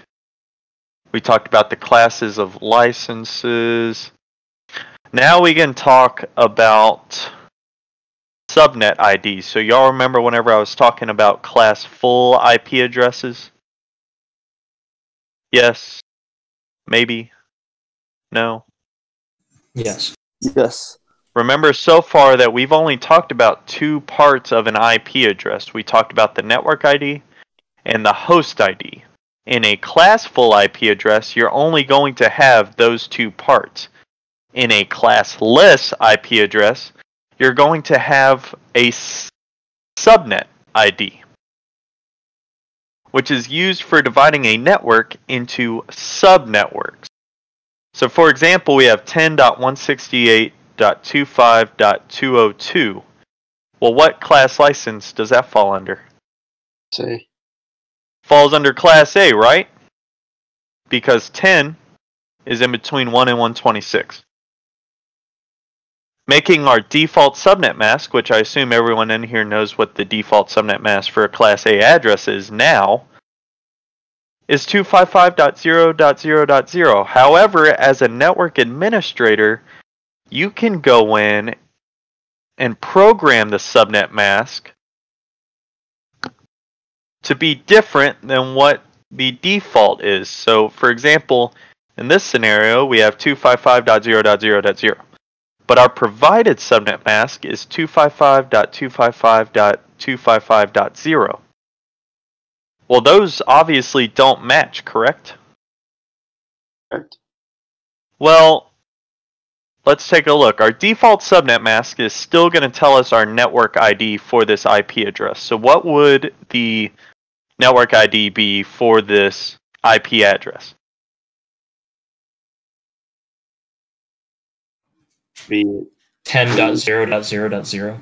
That's right, 10.0.0.0. Remember, that's what our default subnet mask gets us. Well, how is our default subnet mask and our provided subnet mask different?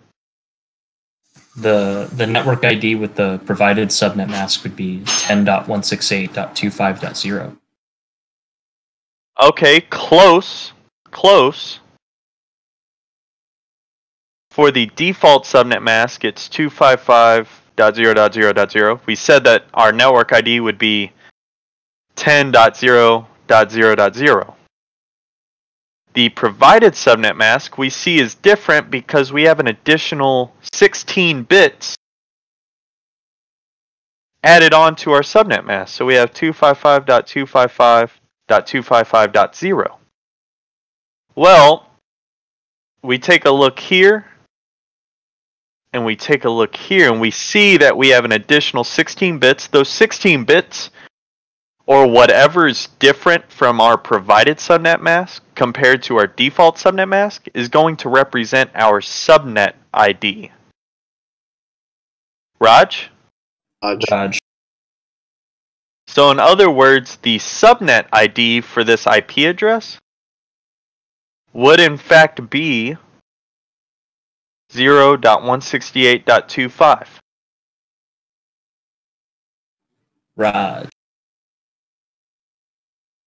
Feel like I may have lost some people because, uh, or or they're just not paying attention. It's one of the two. Well, it's kind of just showing us the difference between the provided subnet mask and the default subnet mask. So you, you would put the zero at the beginning because the 10 is already within the default or the network ID. Yeah. I think people are getting pretty hungry. It's lunchtime. Well, we got another 24 minutes and then I got to get dressed for work anyways. So, let's take a look. Now, whenever we end up with a subnet ID, we're gonna have a classless IP address. Like I said, it's just an IP address that uses subnets. Okay, and one way of understanding the subnet mask is through classless interdomain routing or our CIDR notation.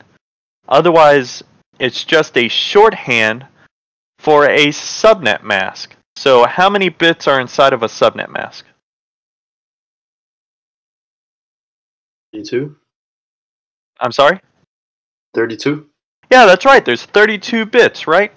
Well, if you take a look at this IP address that we had right here, what's so different about this IP address? You got the slash 24 at the end? Yeah, we have a slash 24 on the end. Now this now this number can be different than just 24. Don't just think that oh, it can only be slash 24. No. This is representing how many ones or how many or I mean, I guess that's correct. How many ones are in our subnet mask? So in other words, the first 24 bits starting from the very left side of our subnet mask are in the one position. Now, if I were to convert that over to dotted decimal, what would that equal? 192.168.25, and then you'd have the dot zero, I think, right? Okay, wait, hold up, hold up. Let me let me type it in the chat. Right, that's what slash twenty four represents. So let me let me edit this. Um,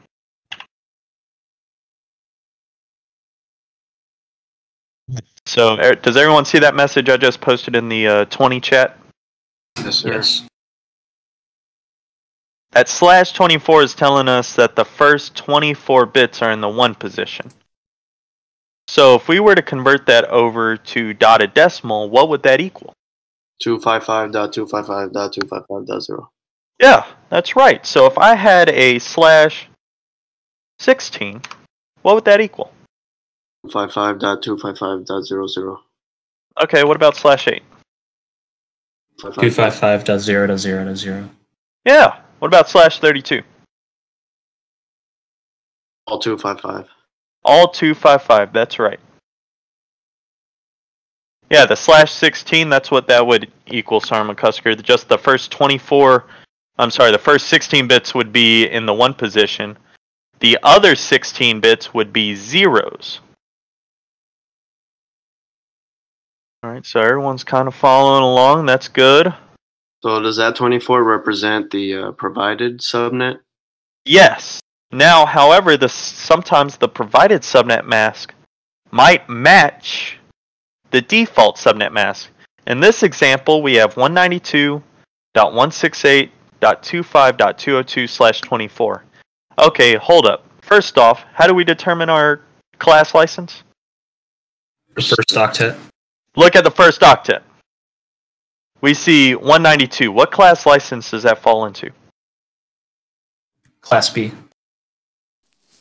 Are we sure about No, class C. B? C, C. It's class Does it start? Does that one start at 192? Yes, it starts out at 192. Don't worry, I have a good way of remembering all of the class licenses, or at least the values. I'll share that with y'all here in a bit. Um, but yes, 192 means that it's a Class C address. Well, what's the default subnet mask for a Class C address? 255.255.255.0. Yeah, that's right. 255.255.255.0. Wait, hold up. What does slash 24 equal? Same. It equals the same exact thing, meaning that our default and our provided subnet mask match, making it a classful or classless address.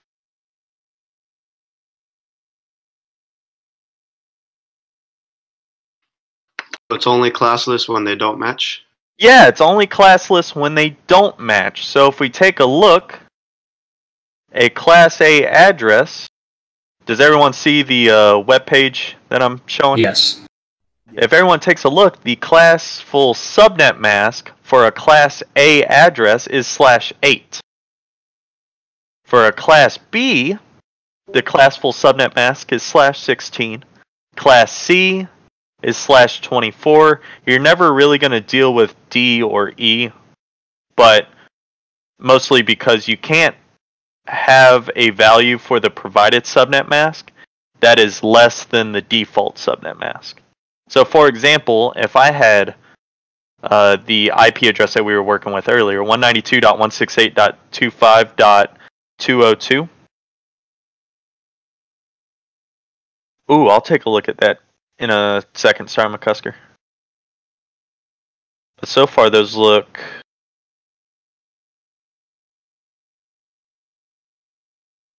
Yeah, those look good.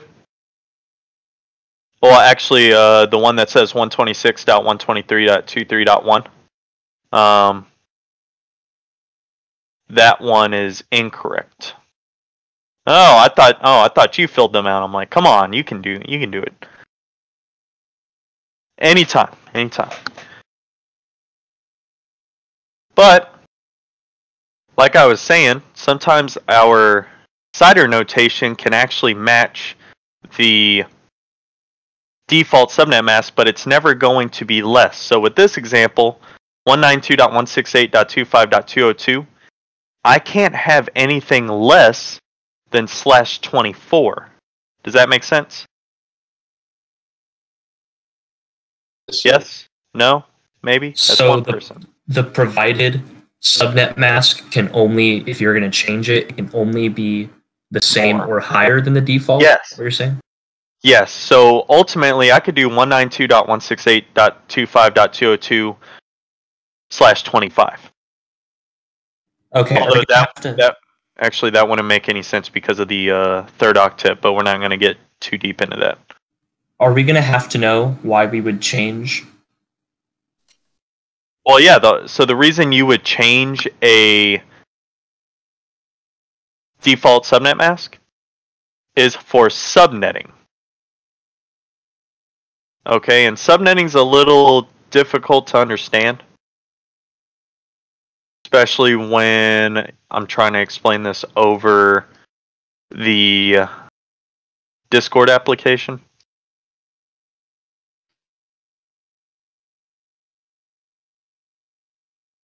Which I'm gonna I'm gonna have to look up for that specific page.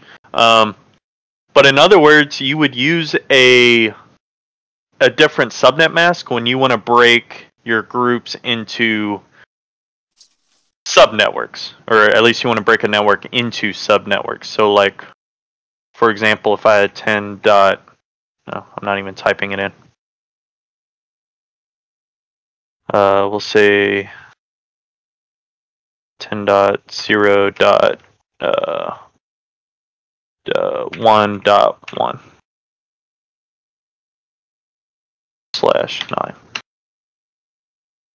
right? Um, don't don't get too uh, what's the word? Don't get too into this example just because it is a slash 9 and it's going to be a little difficult to explain but um, in other words, it would that would mean that the first nine bits are in the one position, meaning that it's two five five dot one twenty eight dot zero dot zero. Correct. Correct. All right. So that means that very first bit of the second octet can either be one or zero meaning I can divide this into two subnet. I can divide the 10.0.0.0 network into two subnetworks. Um, if it's a 1, I'm sorry, if it's a 0, it'll just be 10.0.1.1. If it's a 1, it'll be 10.128.1.1. And I know it's a little hard to explain right now six, seven, eight.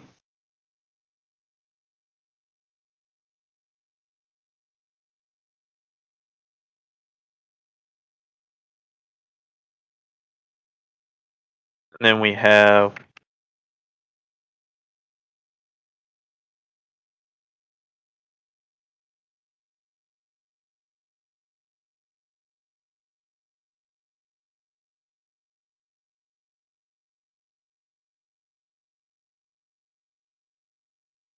So that's the reason why you would break it into subnetworks, just so you can have, like, you might have one entire network, the 10.0 or I'm sorry, the 10.0.0.0 network. But let's say that you want to have two specific groups within there. You're going to have a group that's 10.128.0.0, and you can have another group that's 10.0.0.0. Raj? Raj. Raj. Graham's got something to say. No, I just said Raj. Oh, okay. Oh, I thought. Oh, it says you're typing in something. I was like, oh, okay. Yeah, that's because um, my push to talk is a key, and I can't help. Raj, that makes so much sense now. Got it. Got it.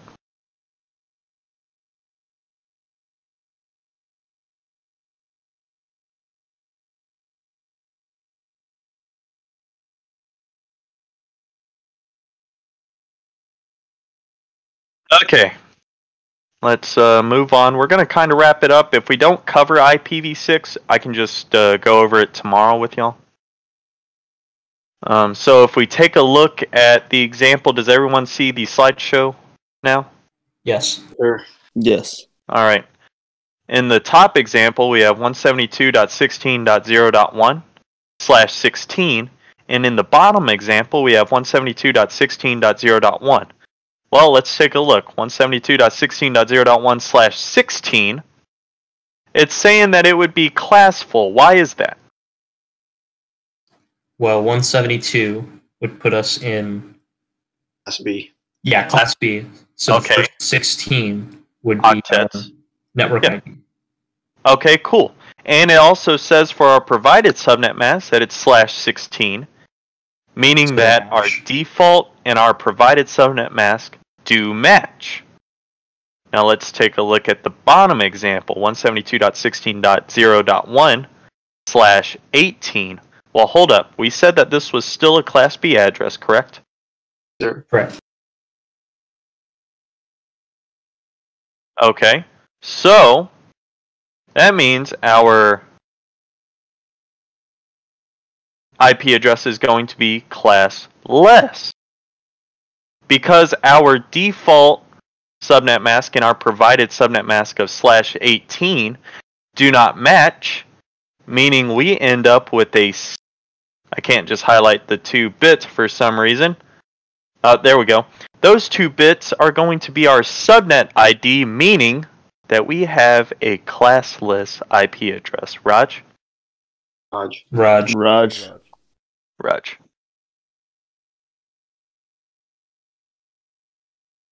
Alright, cool. Now moving on into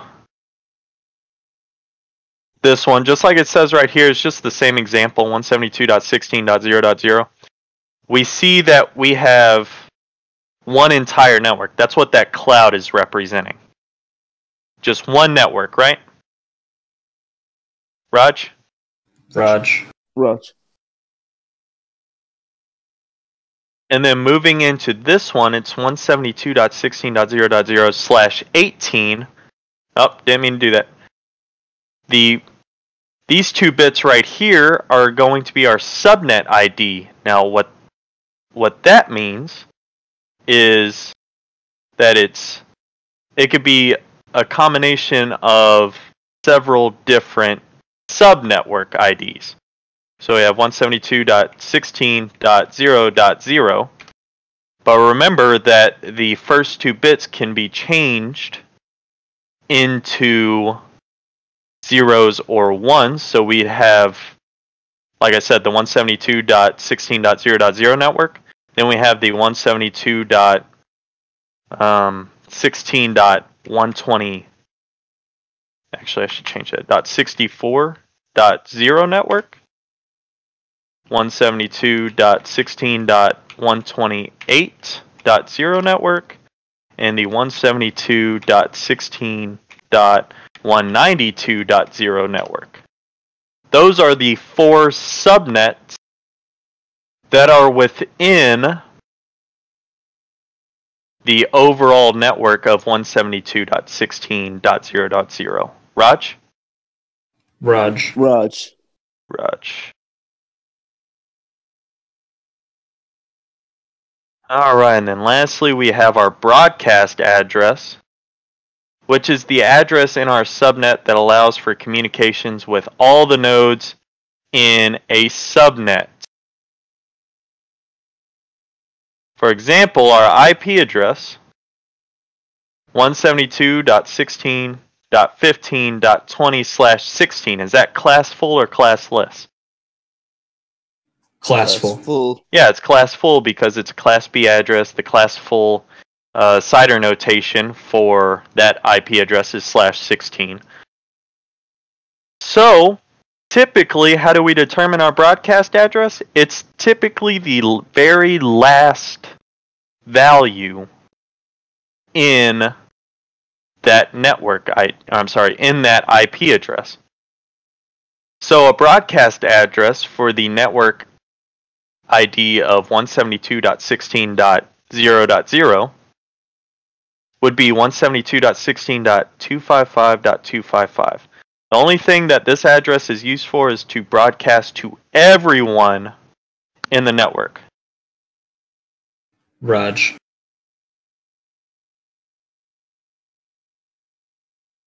Are there any questions? sir. No. Okay, and here it goes into a bunch of different examples. Um, let's do this.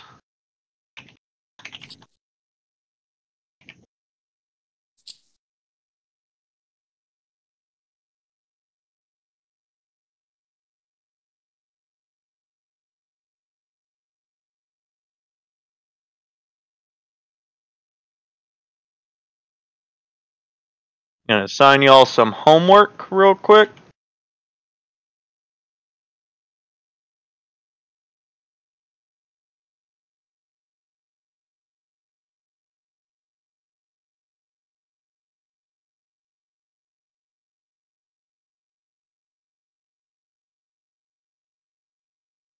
All right, so for tonight, I want y'all to go through, find all those. Um, I believe for day three, y'all should have reviewed uh, objectives one Bravo and one Charlie. Yes. Yes, sir. Yes. All right, cool. Yes. Well, we're gonna we'll do a brief overview of those tomorrow, and we'll finish up uh, IPv6 tomorrow. Yeah, yeah. t- Oh, I'm sorry, Monday. Ugh, excuse me, Monday. Any questions? What's the homework? Um, I typed it in the It's in the chat. chat. It's Oh, it's okay. right under find the find the class license, subnet mask, network ID, and host ID for the following. Yes, sir. All right, cool. Well, if no one has any questions or anything, um, make sure that you finish uploaded up for the. them. What's up? I'm gonna stop the recording and get this uploaded for them if they want to listen to it again later. Um,